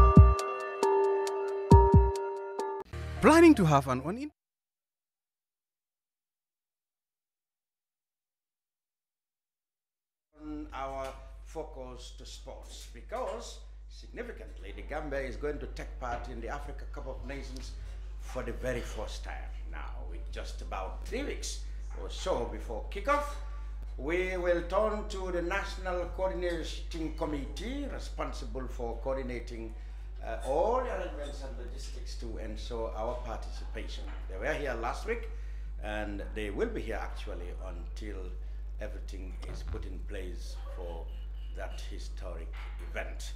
Now, I'm here in the studio with uh, Ida Bah from the National Sports Council, a member of uh, the uh, NCC. Sadibu Kamaso is uh, executive member of the GFF and also a member of the NCC. And so is Musa Sise, who is the spokesman for the NCC and president of the Sports Journalists uh, Association of the Gambia. So, lady and gentlemen, how far have we gone in this very important fundraising campaign? Perhaps let's go straight to Sadibu Kamaso, the, fi the finance man in, in, in the studio. Thank you, Mr. Cham. Thanks for having us. Uh, I think you should have added yourself as a member of NCC because I keep myself you're an extended member. I mean, Yes, by as a extension, media committee. as Okay. member of the media committee. So by Thank you, extension, thank you, know, we're happy to be here again, and thanks for having us. We appreciate um, the um, invitation, giving us the opportunity to come and explain to the Gambian people what we've done so far and how far we've gone. Um, so far, as we speak, we are just around the 10 million mark Wow. and thanks to Africell who have you know contributed a substantial amount of uh, from this amount. Um, they came with the eight million. Um, s- we've done two telethons. Unfortunately, both telethons haven't even reached ten thousand. The first one was seven thousand seven hundred. the second one was seven thousand. Uh, how widespread was it? Uh, which medium did you use? One television or synchronized? It was a single Yes. television. So far, we've done was GRTS, but there's uh, Semo Musa helped me with the Simulcast, you know. Uh, simul- we're doing a simulcasting um, um, this week. Next Thursday, GRTS and all the media platforms are going to be there. So we're going to use two hours to do that. But then, even that, I mean, you have a very um, wide viewership of, uh, for GRTS. So I, I'm assuming it's just the fact that some people wouldn't just want to um, do their donations. Maybe they would rather go to the bank and do it because there's some people who call and talk about some other thing else. But um, so far, so good. We've reached 10 million mark, and we're hoping with the festive period coming, there are more people coming from the diaspora. Mm-hmm. The elections has have, have, Passed have gone past now. We will be able to um, raise a substantial amount before the AFCON proper. But about 10 million has been raised so far. And we still have a hundred and seven mm. million. 17 million. About 110 million to go. Mm-hmm. Certainly, certainly. I mean, the 110 million, I, I'm still doing the math. I said Africell has 1.4 million subscribers. 1 million subscribers, $5 It's- a day. very much doable. 22 It's days. 22 days, $5 a day. That's um, 110 million. Because every day, everybody buys credit to use on their megabyte. Mm-hmm. Whether they're going online, they're mm-hmm. going, you know, to read news about, mm-hmm. you know, foreign news or local news, they buy megabytes. So from this, every day, just throw five dollars into the Africell, you know, they through the Africell platform on the two triple eight. That is the next 22 days. That will raise us 110 million. That is separate from what other corporate bodies are doing. Musa will expound on that because we have some things that we're working on now, and hopefully everything materializes. This gala dinner would come to fruition, and we would be able to. But as I said, 1.4 million subscribers. Take 1 million subscribers, 22 days, 5 million a day, that is 110 million. Otherwise, every Gambian can just put $100. Not $100 every day, just $100. Forget about the 2.4, even 2 million, that's 200 million. Instead of us cutting the numbers, we would be able to take more numbers to Cameroon because we do not want our players scoring goals and coming to celebrate in front of a pocket full of fans. You know, exactly. So we want to take the, a good number. Musa is so simple and doable, yet we're, we're, we're really. Um, ah. mm-hmm. Yeah, I mean, as you really, really say, it's so doable, and it still remain doable. Um, the appeal would relent, we would not relent, we would mm-hmm. keep going. It's so simple. I mean, the math is so simple. Mm-hmm. Only if, which we don't wish to, because I mean, if only the official subscribers can even fund this whole them alone can. them alone, or we alone, because we all belong to the family. Um, but It is sad, though, to say that people are not coming forward, mm. and we've been drumming, um, in trying to really, I mean, let the public um, know what's happening. Um, um, but we don't want to go back to what the genuine destruction that we were dealing with earlier on. That's gone past right now. We have enough days ahead of us, Yeah. which we can use to really get back. It's not time lost. Yeah, I don't want to call that. It's not time lost, but this is still doable. I mean, is the 1.6 million subscribers? Let the let's excuse the six the 600,000 subscribers, but just the 1 million. Do a dollar C, I mean, I mean five dollars C for the next 20 days. We are fine. Do a hundred dollars a day. Once we are good. We are good. So that's how easy it is. So, but we don't want people to keep telling us this is what you should have done. We think we have done. Yes, publicity would never be enough. Absolutely. Would never be enough. But as we speak right now, all that we ask of the Gambian public is please, please, please, let's all come forward. Let's do our bit in making sure that a respectable performance, we believe, is assured from our boys in Cameroon. And perhaps we should clarify. Some people might like, say, okay, what are they going to do? What are, what are they going to do with this money? Oh, good. Uh, I think it will be important to come out and explain because somebody might say, okay, Yeah, this money let me know first what are they going to do with it. Yeah. Okay, so Cham, first of all, football incurs a lot of expenditure. These players normally, all these whiles they've been playing, they normally just go for a game, mm. an away game, and then come back, and you know, you just have an eight-day period for their camping. These players are going for a tournament. You need to pay them And camping Sadiu, for allowances. example, that single outing would cost you about 15 million dollars. Mm, yeah, that is just the allowances. That's just You're not talking about the aircraft. That outing alone, 15 million, for example. Okay, you have a pre-AFCON camp. The players are going for a pre-AFCON camp in Qatar. Okay, they are all going to converge from the 27th and go on a pre-AFCON camp until the 7th, 5th or 6th, around there about. Thank you, Ida. So the pre-AFCON camp, you need to pay them camping allowances for all those days, right? And when the tournament starts, you need to pay them camping allowance continually. different. You need to pay them match bonuses. There's win bonus, there's draw bonus. Other countries are paying like ten thousand dollars for a win bonus. Even appearance fee, just to come and appear, they're paying thirty-two. I read the other day Morocco are paying appearance fee thirty-two thousand dollars just to come and appear. Yeah, It's different from that. We are not paying that. We're just paying allowances per day. Hmm. Now, you have feeding and accommodation. Mm-hmm. CAF is taking care of certain aspects of this. Yes. But most of these things you pre-finance and certain parts come in. Come in. And then the pre-AFCON camp, the aircraft that is going to take them, the air tickets, their feeding and accommodation, there is another aspect that we need to cater for. We intend to take funds from here to go and celebrate with the players in Cameroon those people are going to be catered for their feeding, their accommodation, their air tickets, because we intend to charter a flight. That aside, you intend to ensure that there are qualification bonuses, not the win bonuses. For instance, you could say we're going to entice you with this amount if you go past Reach The the quarterfinal. Or you pass the round of 16. Exactly. Other countries, their budgets, like Musa said the other day, 500 million. 500 million, and we haven't reached that. So, and mind you, this 117 million may not even cater for what we can, we have to give them if they have to reach the finals. Mm-hmm. So imagine the boys Double- become the double, they may elements of double. surprise and reach the finals. We will be here scavenging for money mm-hmm. to entice them even further. Because if they are sitting down and watching their counterparts being offered maybe $50,000 each if they win the next game, eh, you know, so all these funds goes in there. Absolutely. And the people who are going to travel from here, everybody who travels on behalf of the NCC from here gets taken care of from these funds. So it includes everything A lot of things. and the pre-AFCON camp. Yeah, the pre-AFCON camps are Sadibu, and of course the, the, the, the friendly matches that have been played so far.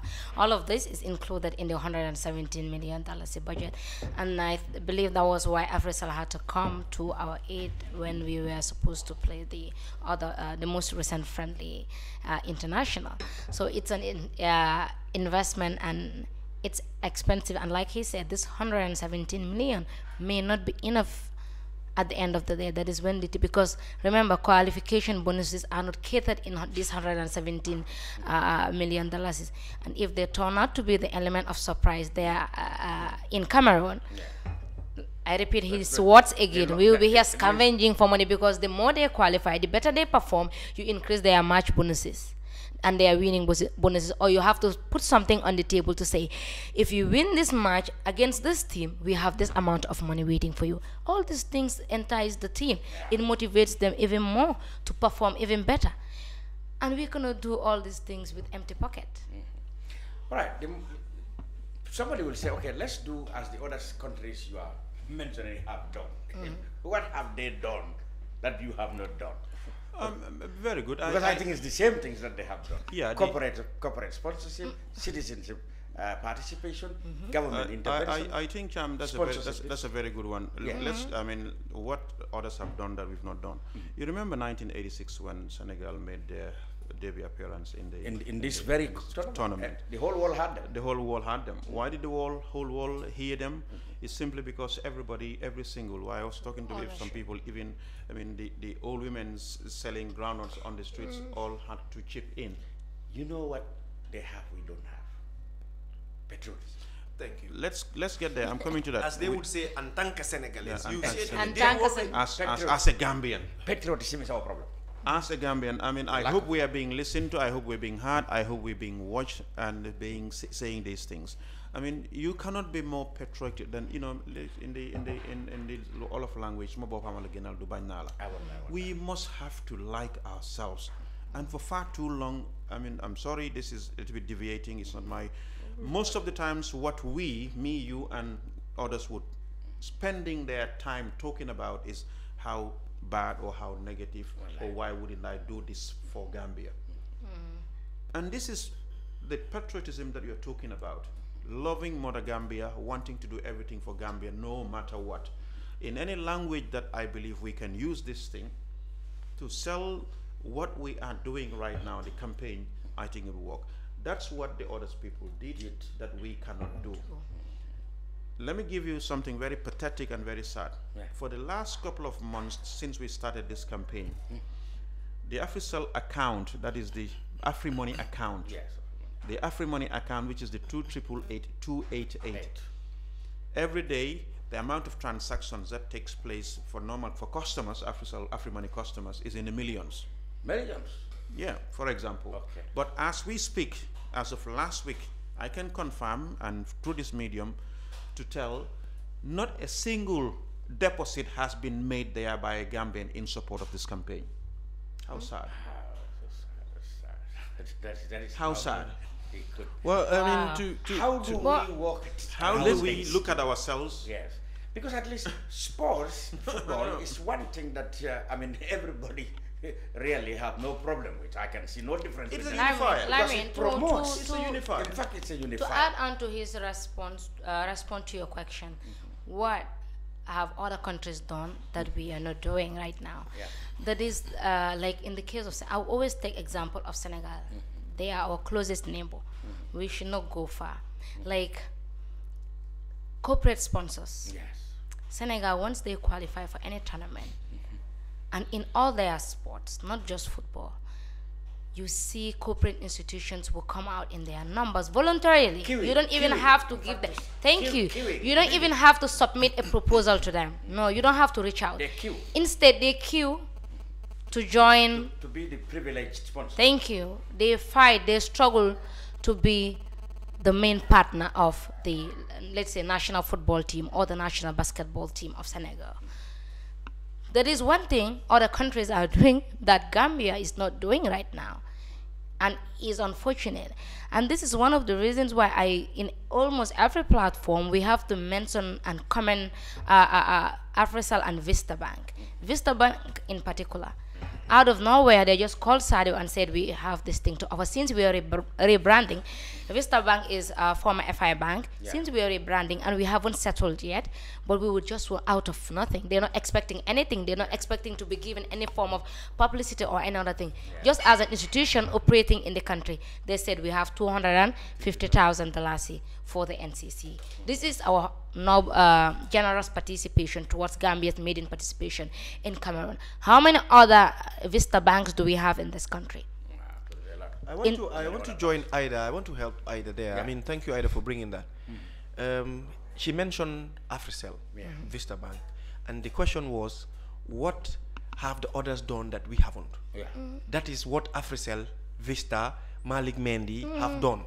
Because the others, yes, with due respect to them, we went to them. But these three, AfriCell, we qualified when the NCC was being inaugurated. They came with a proposal and said, "Guys, we have this much for you. We can offer you 8 million cash. We have our billboards. We have our SMS platform. We can throw you a dinner and fund it." They did that. Malik Mendy, I was. I was so, you know, it was. It, I think surprise is an understatement. I, I mean, when they, when when the N- N- National Sports Council told me Yeah. Malik Mendy just walked in and gave ten thousand dollars, Awesome. awesome. you know, nobody went to him. Mm. awesome. He some of these like this. Vista Bank called me, and some of these institutions, you go there, they're like, but we haven't had. You or you have you written? Mm. We've written, but even if we haven't written, Yeah. you know, I mean, Musa, myself, either we are all volunteering. NCC does not pay us anything. Mm-hmm. We drive our own cars, put our own fuel, and go around all these institutions. People will tell you, have you written? We, like you said, what have the others done? These people will queue in other places. Mm. They have a fuel partner. Mm. They have a hotel partner. Partner. They have a GSM partner. partner, They have an airline partner. We have partner, all of these things here. But you mm-hmm. go they you know it's it's like people are a bit coy on how do we come in and they're looking at the what most of these institutions are, i'm afraid i'm sorry that, that i'm saying this but most of them are looking for returns now. And this is a huge investment because i've been saying this i've been drumming this. If we go there and our players perform well everybody gets to know about, us they get bigger contracts they go to bigger leagues all these monies they make the pride remittance And, with, and, and with or without Pride good performance, just the appearance. the remittances come here. We have more scouts coming here. Where are they going to take these monies? They bring the monies here. Which banks are they going to bank these monies? Which hotels are they going to? Absolutely. So Which now you come to a point, like we talk about corporates. Um, did you take the approach? Okay, you might have written to individual institutions, uh, but like like like you said, all of them belong to umbrella organizations. For example, if you get the bankers association, uh, engage them. Did you do that and said, well, you know what? Now it is time for you to use your influence to get each, H bank donate this amount right? Then you go to the hotel association and said, okay, you know, we know you have COVID and other things, but now we want you to use your influence now and your structures to get every hotel to donate some. You do the same for the insurance companies, the transport union, they're well organized already. Perhaps get every taxi driver and someone else to do these things. Maybe those things can help also, rather than going to the individuals who might be thinking of their individual, um, you know, returns or sort of example. But if you use the umbrella and compel them this time, because you know, some of these things you, you have to exert some sort of pressure and say, look, you know, this is a national cause. So they before Musa comes in there, Mr. Cham, let me just uh, before Musa comes in, for the corporate institutions, I don't want to call it donate. Okay. All right. Like not- corporate not- it's not responsibility. Partnership. Mm-hmm. Ah, mm-hmm. okay. Even though they have a CSR, Yeah. a corporate social responsibility, mm. I call it partnership because mm. the letters that have been written to all these institutions, the banks, even the bank association, they were written to. Partnership. Exactly. We've written to most of these institutions. Mm-hmm. Okay. You've written to them, oh, has, has the letter been sent? Yes, the letter was here. Okay, we need to sit and look at it. We Give know our, it's end of year, our, us our budgets, you know, but Gambia qualified way back in March. March. Way back in March. And If that you was everywhere. budget- It was we're here. everywhere. we were all here. Gambia qualified way back in March. So even if we came now, everybody knows Gambia qualified way back in March. Fine. Just so that Musa can come in there. We are partnering with you. We want to advertise for you. We want to have your logo on whatever we're doing. When we went to Dubai and the training camp recently, the training jerseys that we, they were wearing was all AfriCell. People in Dubai were looking at it. Where is AfriCell? Af- eh, you know. Yeah, it's it's publicity for them. They're not looking They at it from that well, angle. yeah. So imagine we had, you know, the name of a bank and somebody wants to do an inflow here or they want to set up a business here. Oh, we saw this bank when the national team came to Gambia. We want to go to that bank.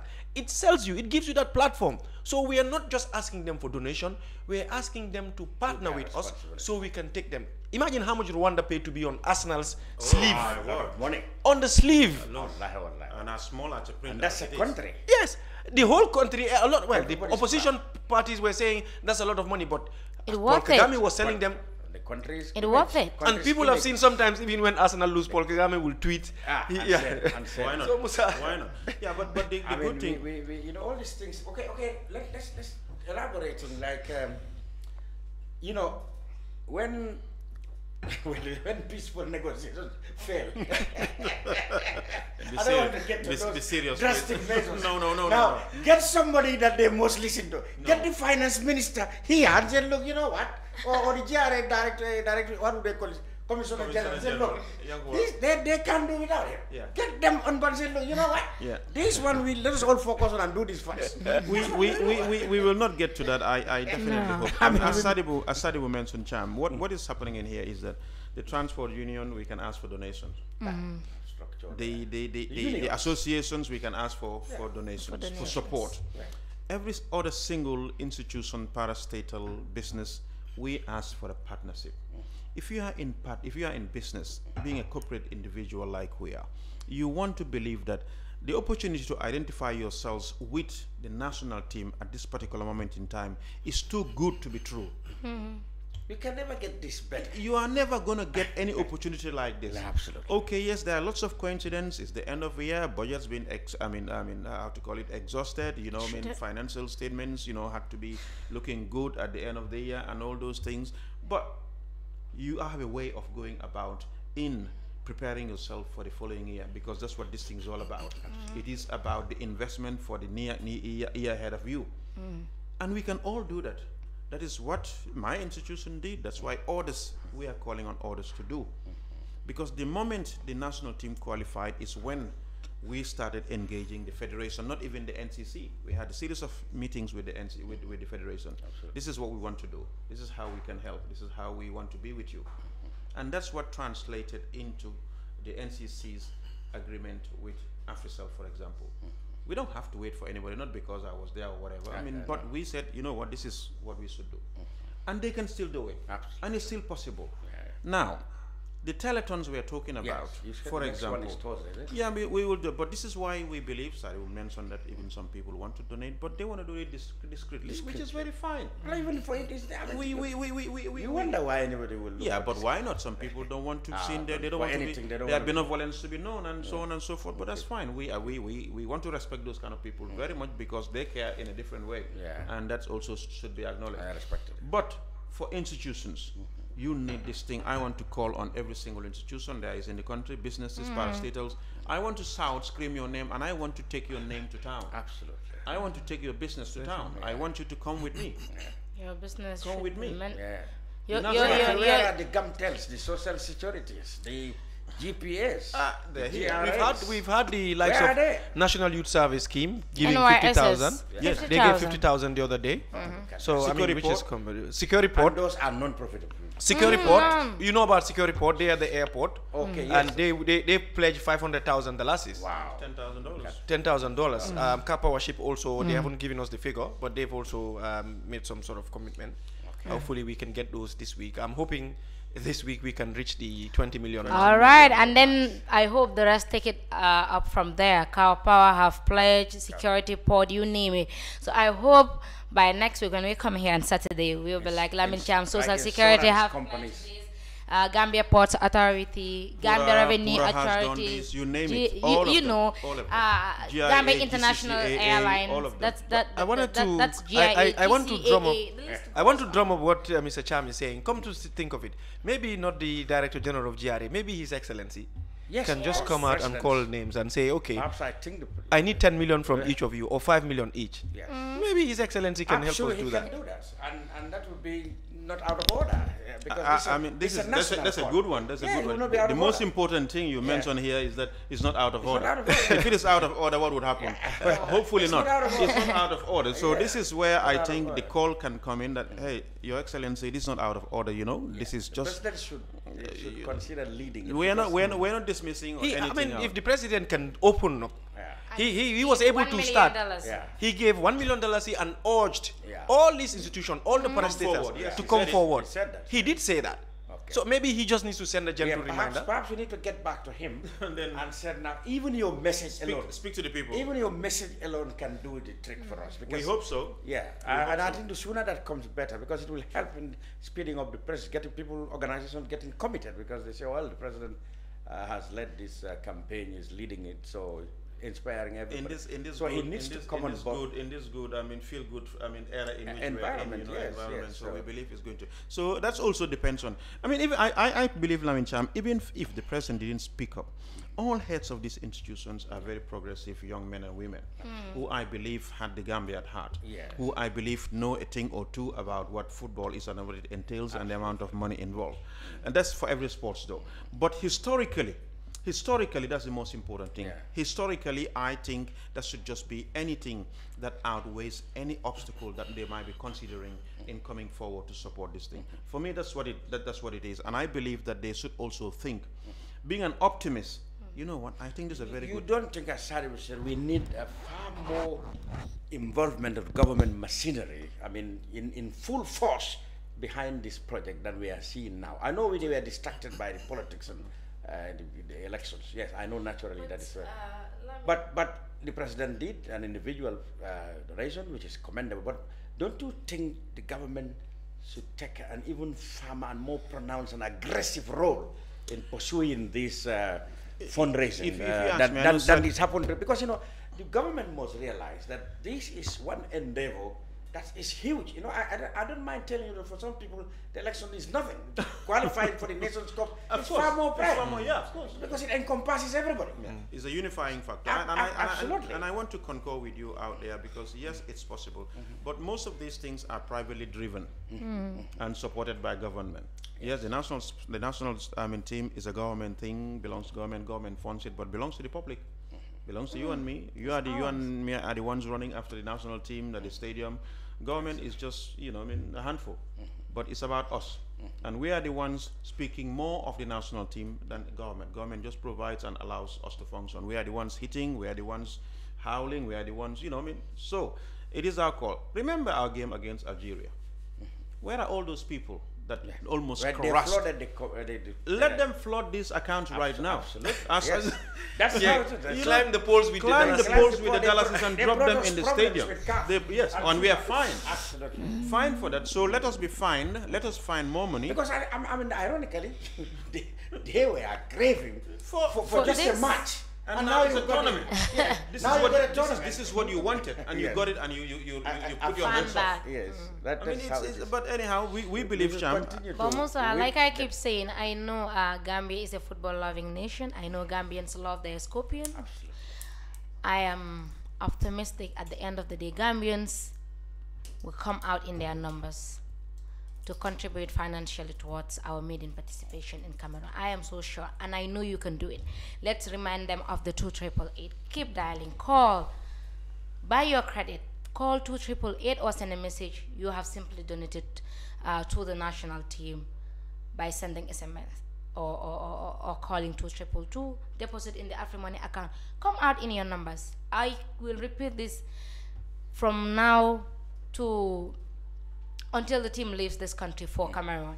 I am sure Gambians love the Scorpions. They love their Scorpions, and I am so sure that you're passionate about the team. Yeah, It's in your pocket, sports. and I know you will drop it in the Yeah. box only I mean- for the national team, not for Musa Sise, not for Sadibu, not for Lamin Cham, not for any other person's sake, but only for the sake of the team and for the love you have for country. And I'm sure they will do it. I think what we I'm need to work hard in, in our countries to mobilize uh, uh, our citizens towards patriotic and national That should be part of a civic which should be. That's civic, civic and that's part of education. civic- because, Yeah, because I you know, sports is a passion. If you don't have it, it's a don't problem. You know, you, you regard it as something. I think I think it's her- because of the person.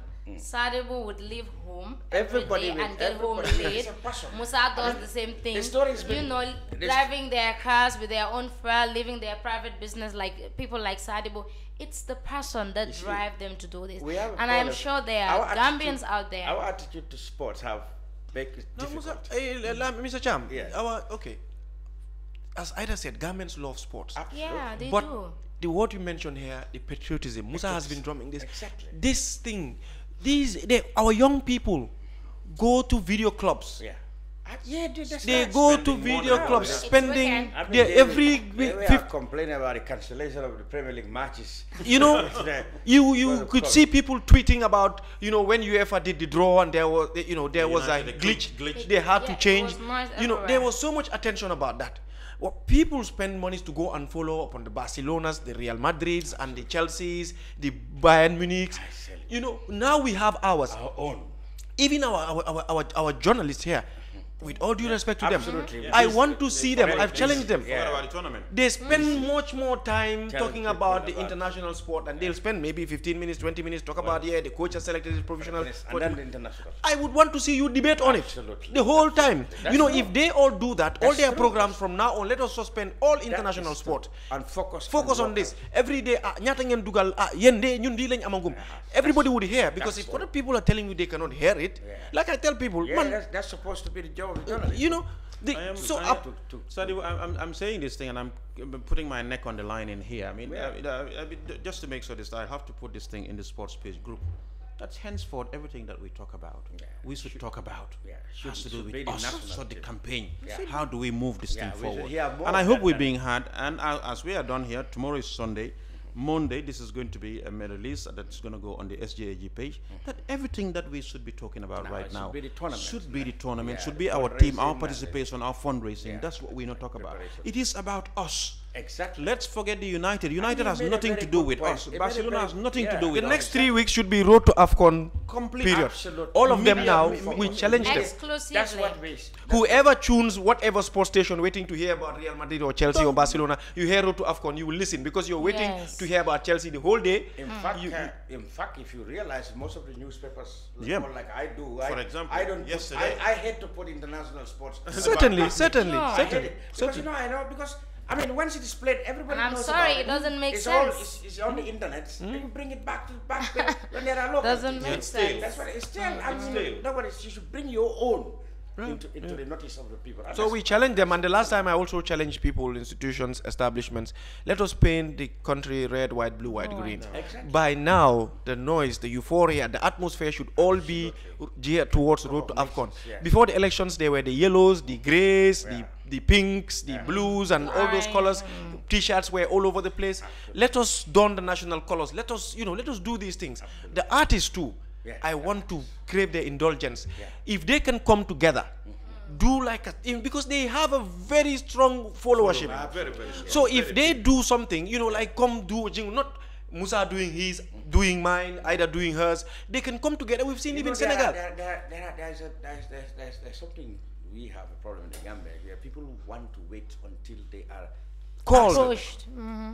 You know, even as you speak here, they will say, but who, Ah, why but would who did they contact? But who did they contact? boole They wuñ told ma me. si. But who did they contact? Can you imagine? Did they enlist uh, artists into their committee? No, they did not. So you see, and you cannot remember everybody. Everybody should take it as a duty to, go- to take part. Yeah. That's why the problem. So we And, have. and I mean, that's even, I mean, I'm going to say this because I'm. um, some of these artists were even asked to do um, a teaser, a, v, a, v- a TVC, Yes. a TVC just to appeal to the public.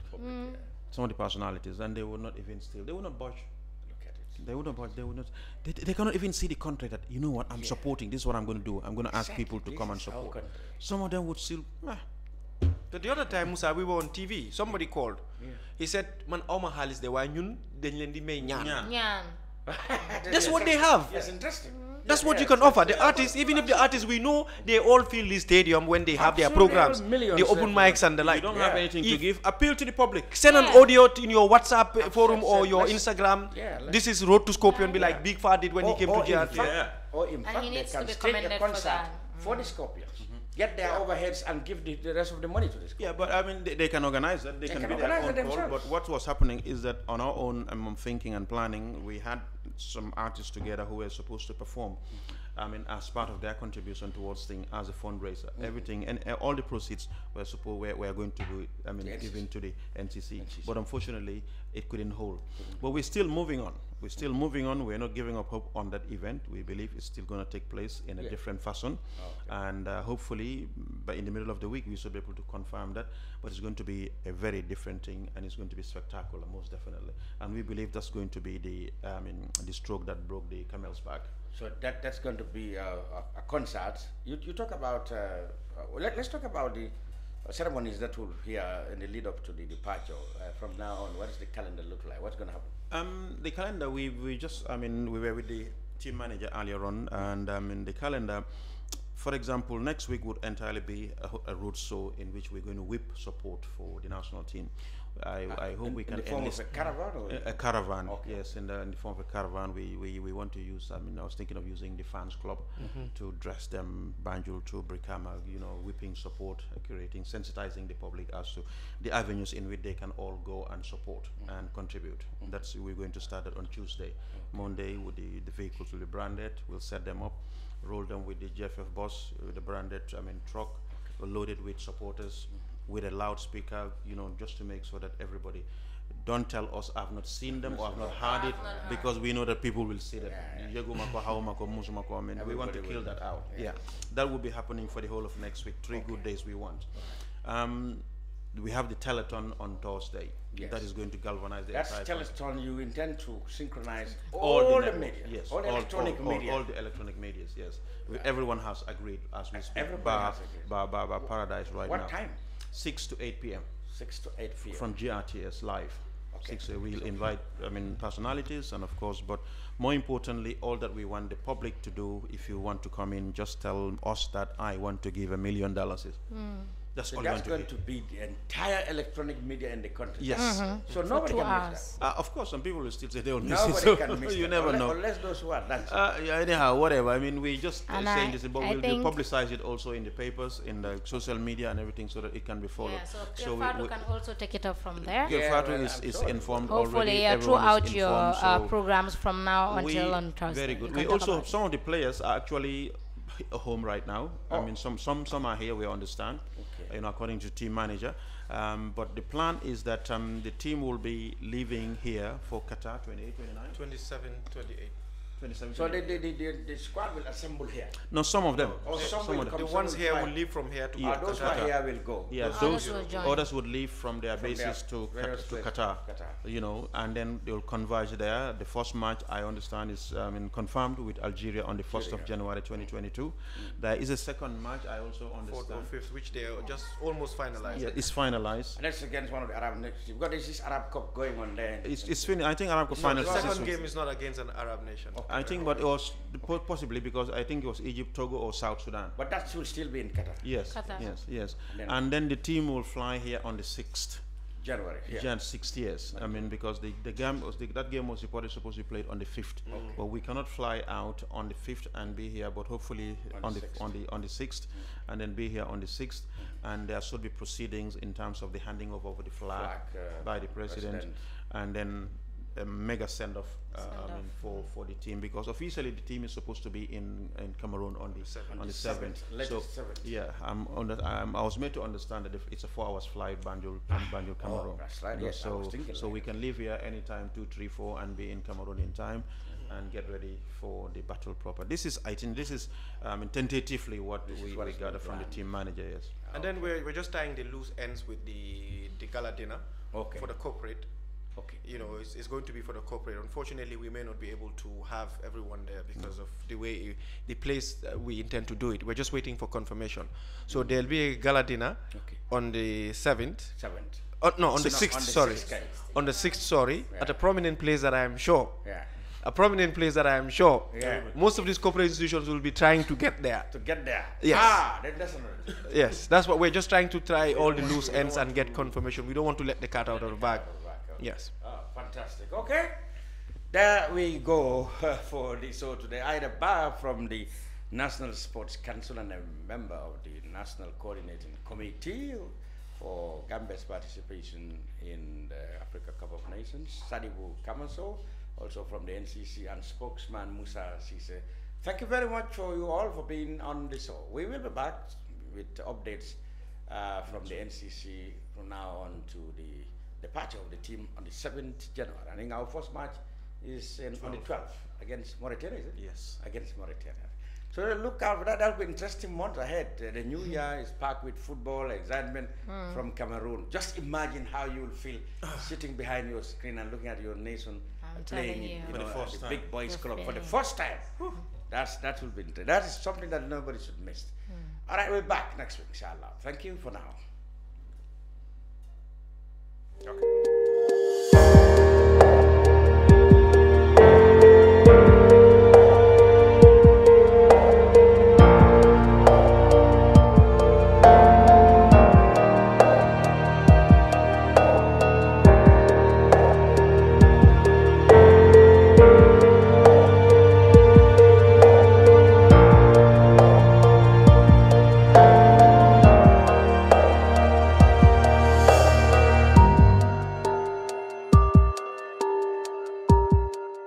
Data now even better. Enjoy 20% extra data on all Gamcell data bundles. Buy 20 megabytes and get extra 4 megabytes. Buy 50 megabytes and get extra 10 megabytes. Buy 100 megabytes and get extra 20 megabytes. Any amount of Gamcell data bundle you buy, you will receive 20% extra data for free. Dial star 302 star data amount hash or go to your Yaiborom menu and choose your data bundle now. Gamcell data. It's fast, lasts longer and very reliable. Gamcell Yaiborom.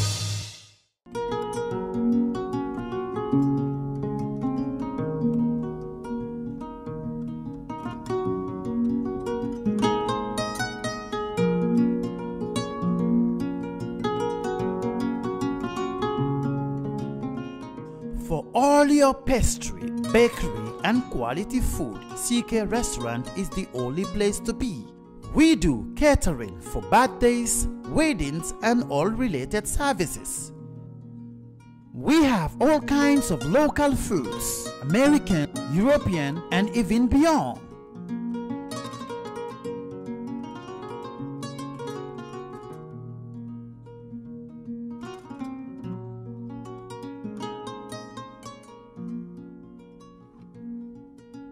Come and have a taste of our local juice, ebe, and other services.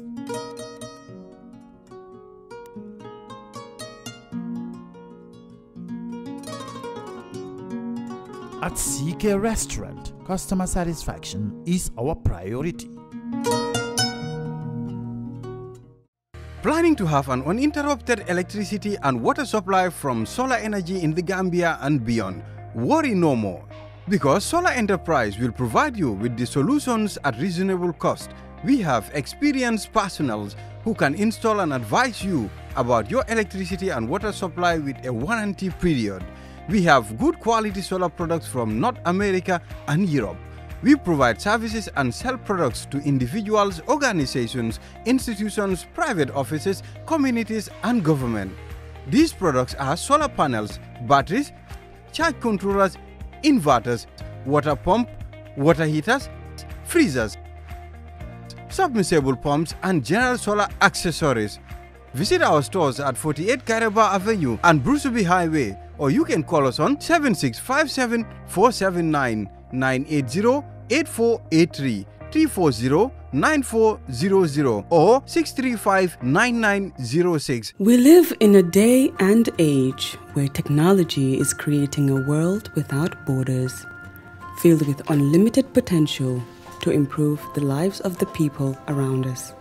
Innovarex Global Health ushers in a new way of leveling the playing field with increased access to quality healthcare services delivered at your doorstep. Our qualified professionals are equipped with state of the art point of care testing technology to conduct tests such as kidney function, liver function, electrolyte tests, body composition, hemoglobin, A1C, and many more services with the highest efficiency in delivering results. The addition to our flagship, Wellness on Wheels, more fondly known as WOW Delivery Service, brings the entire clinical experience full circle. IGH has remained committed to creating the future of healthcare delivery. Gone are the days of sending loved ones outside the country for basic medical services. Innovarex Global Health offers a new peace of mind and takes pride in delivering the quality of care we all deserve.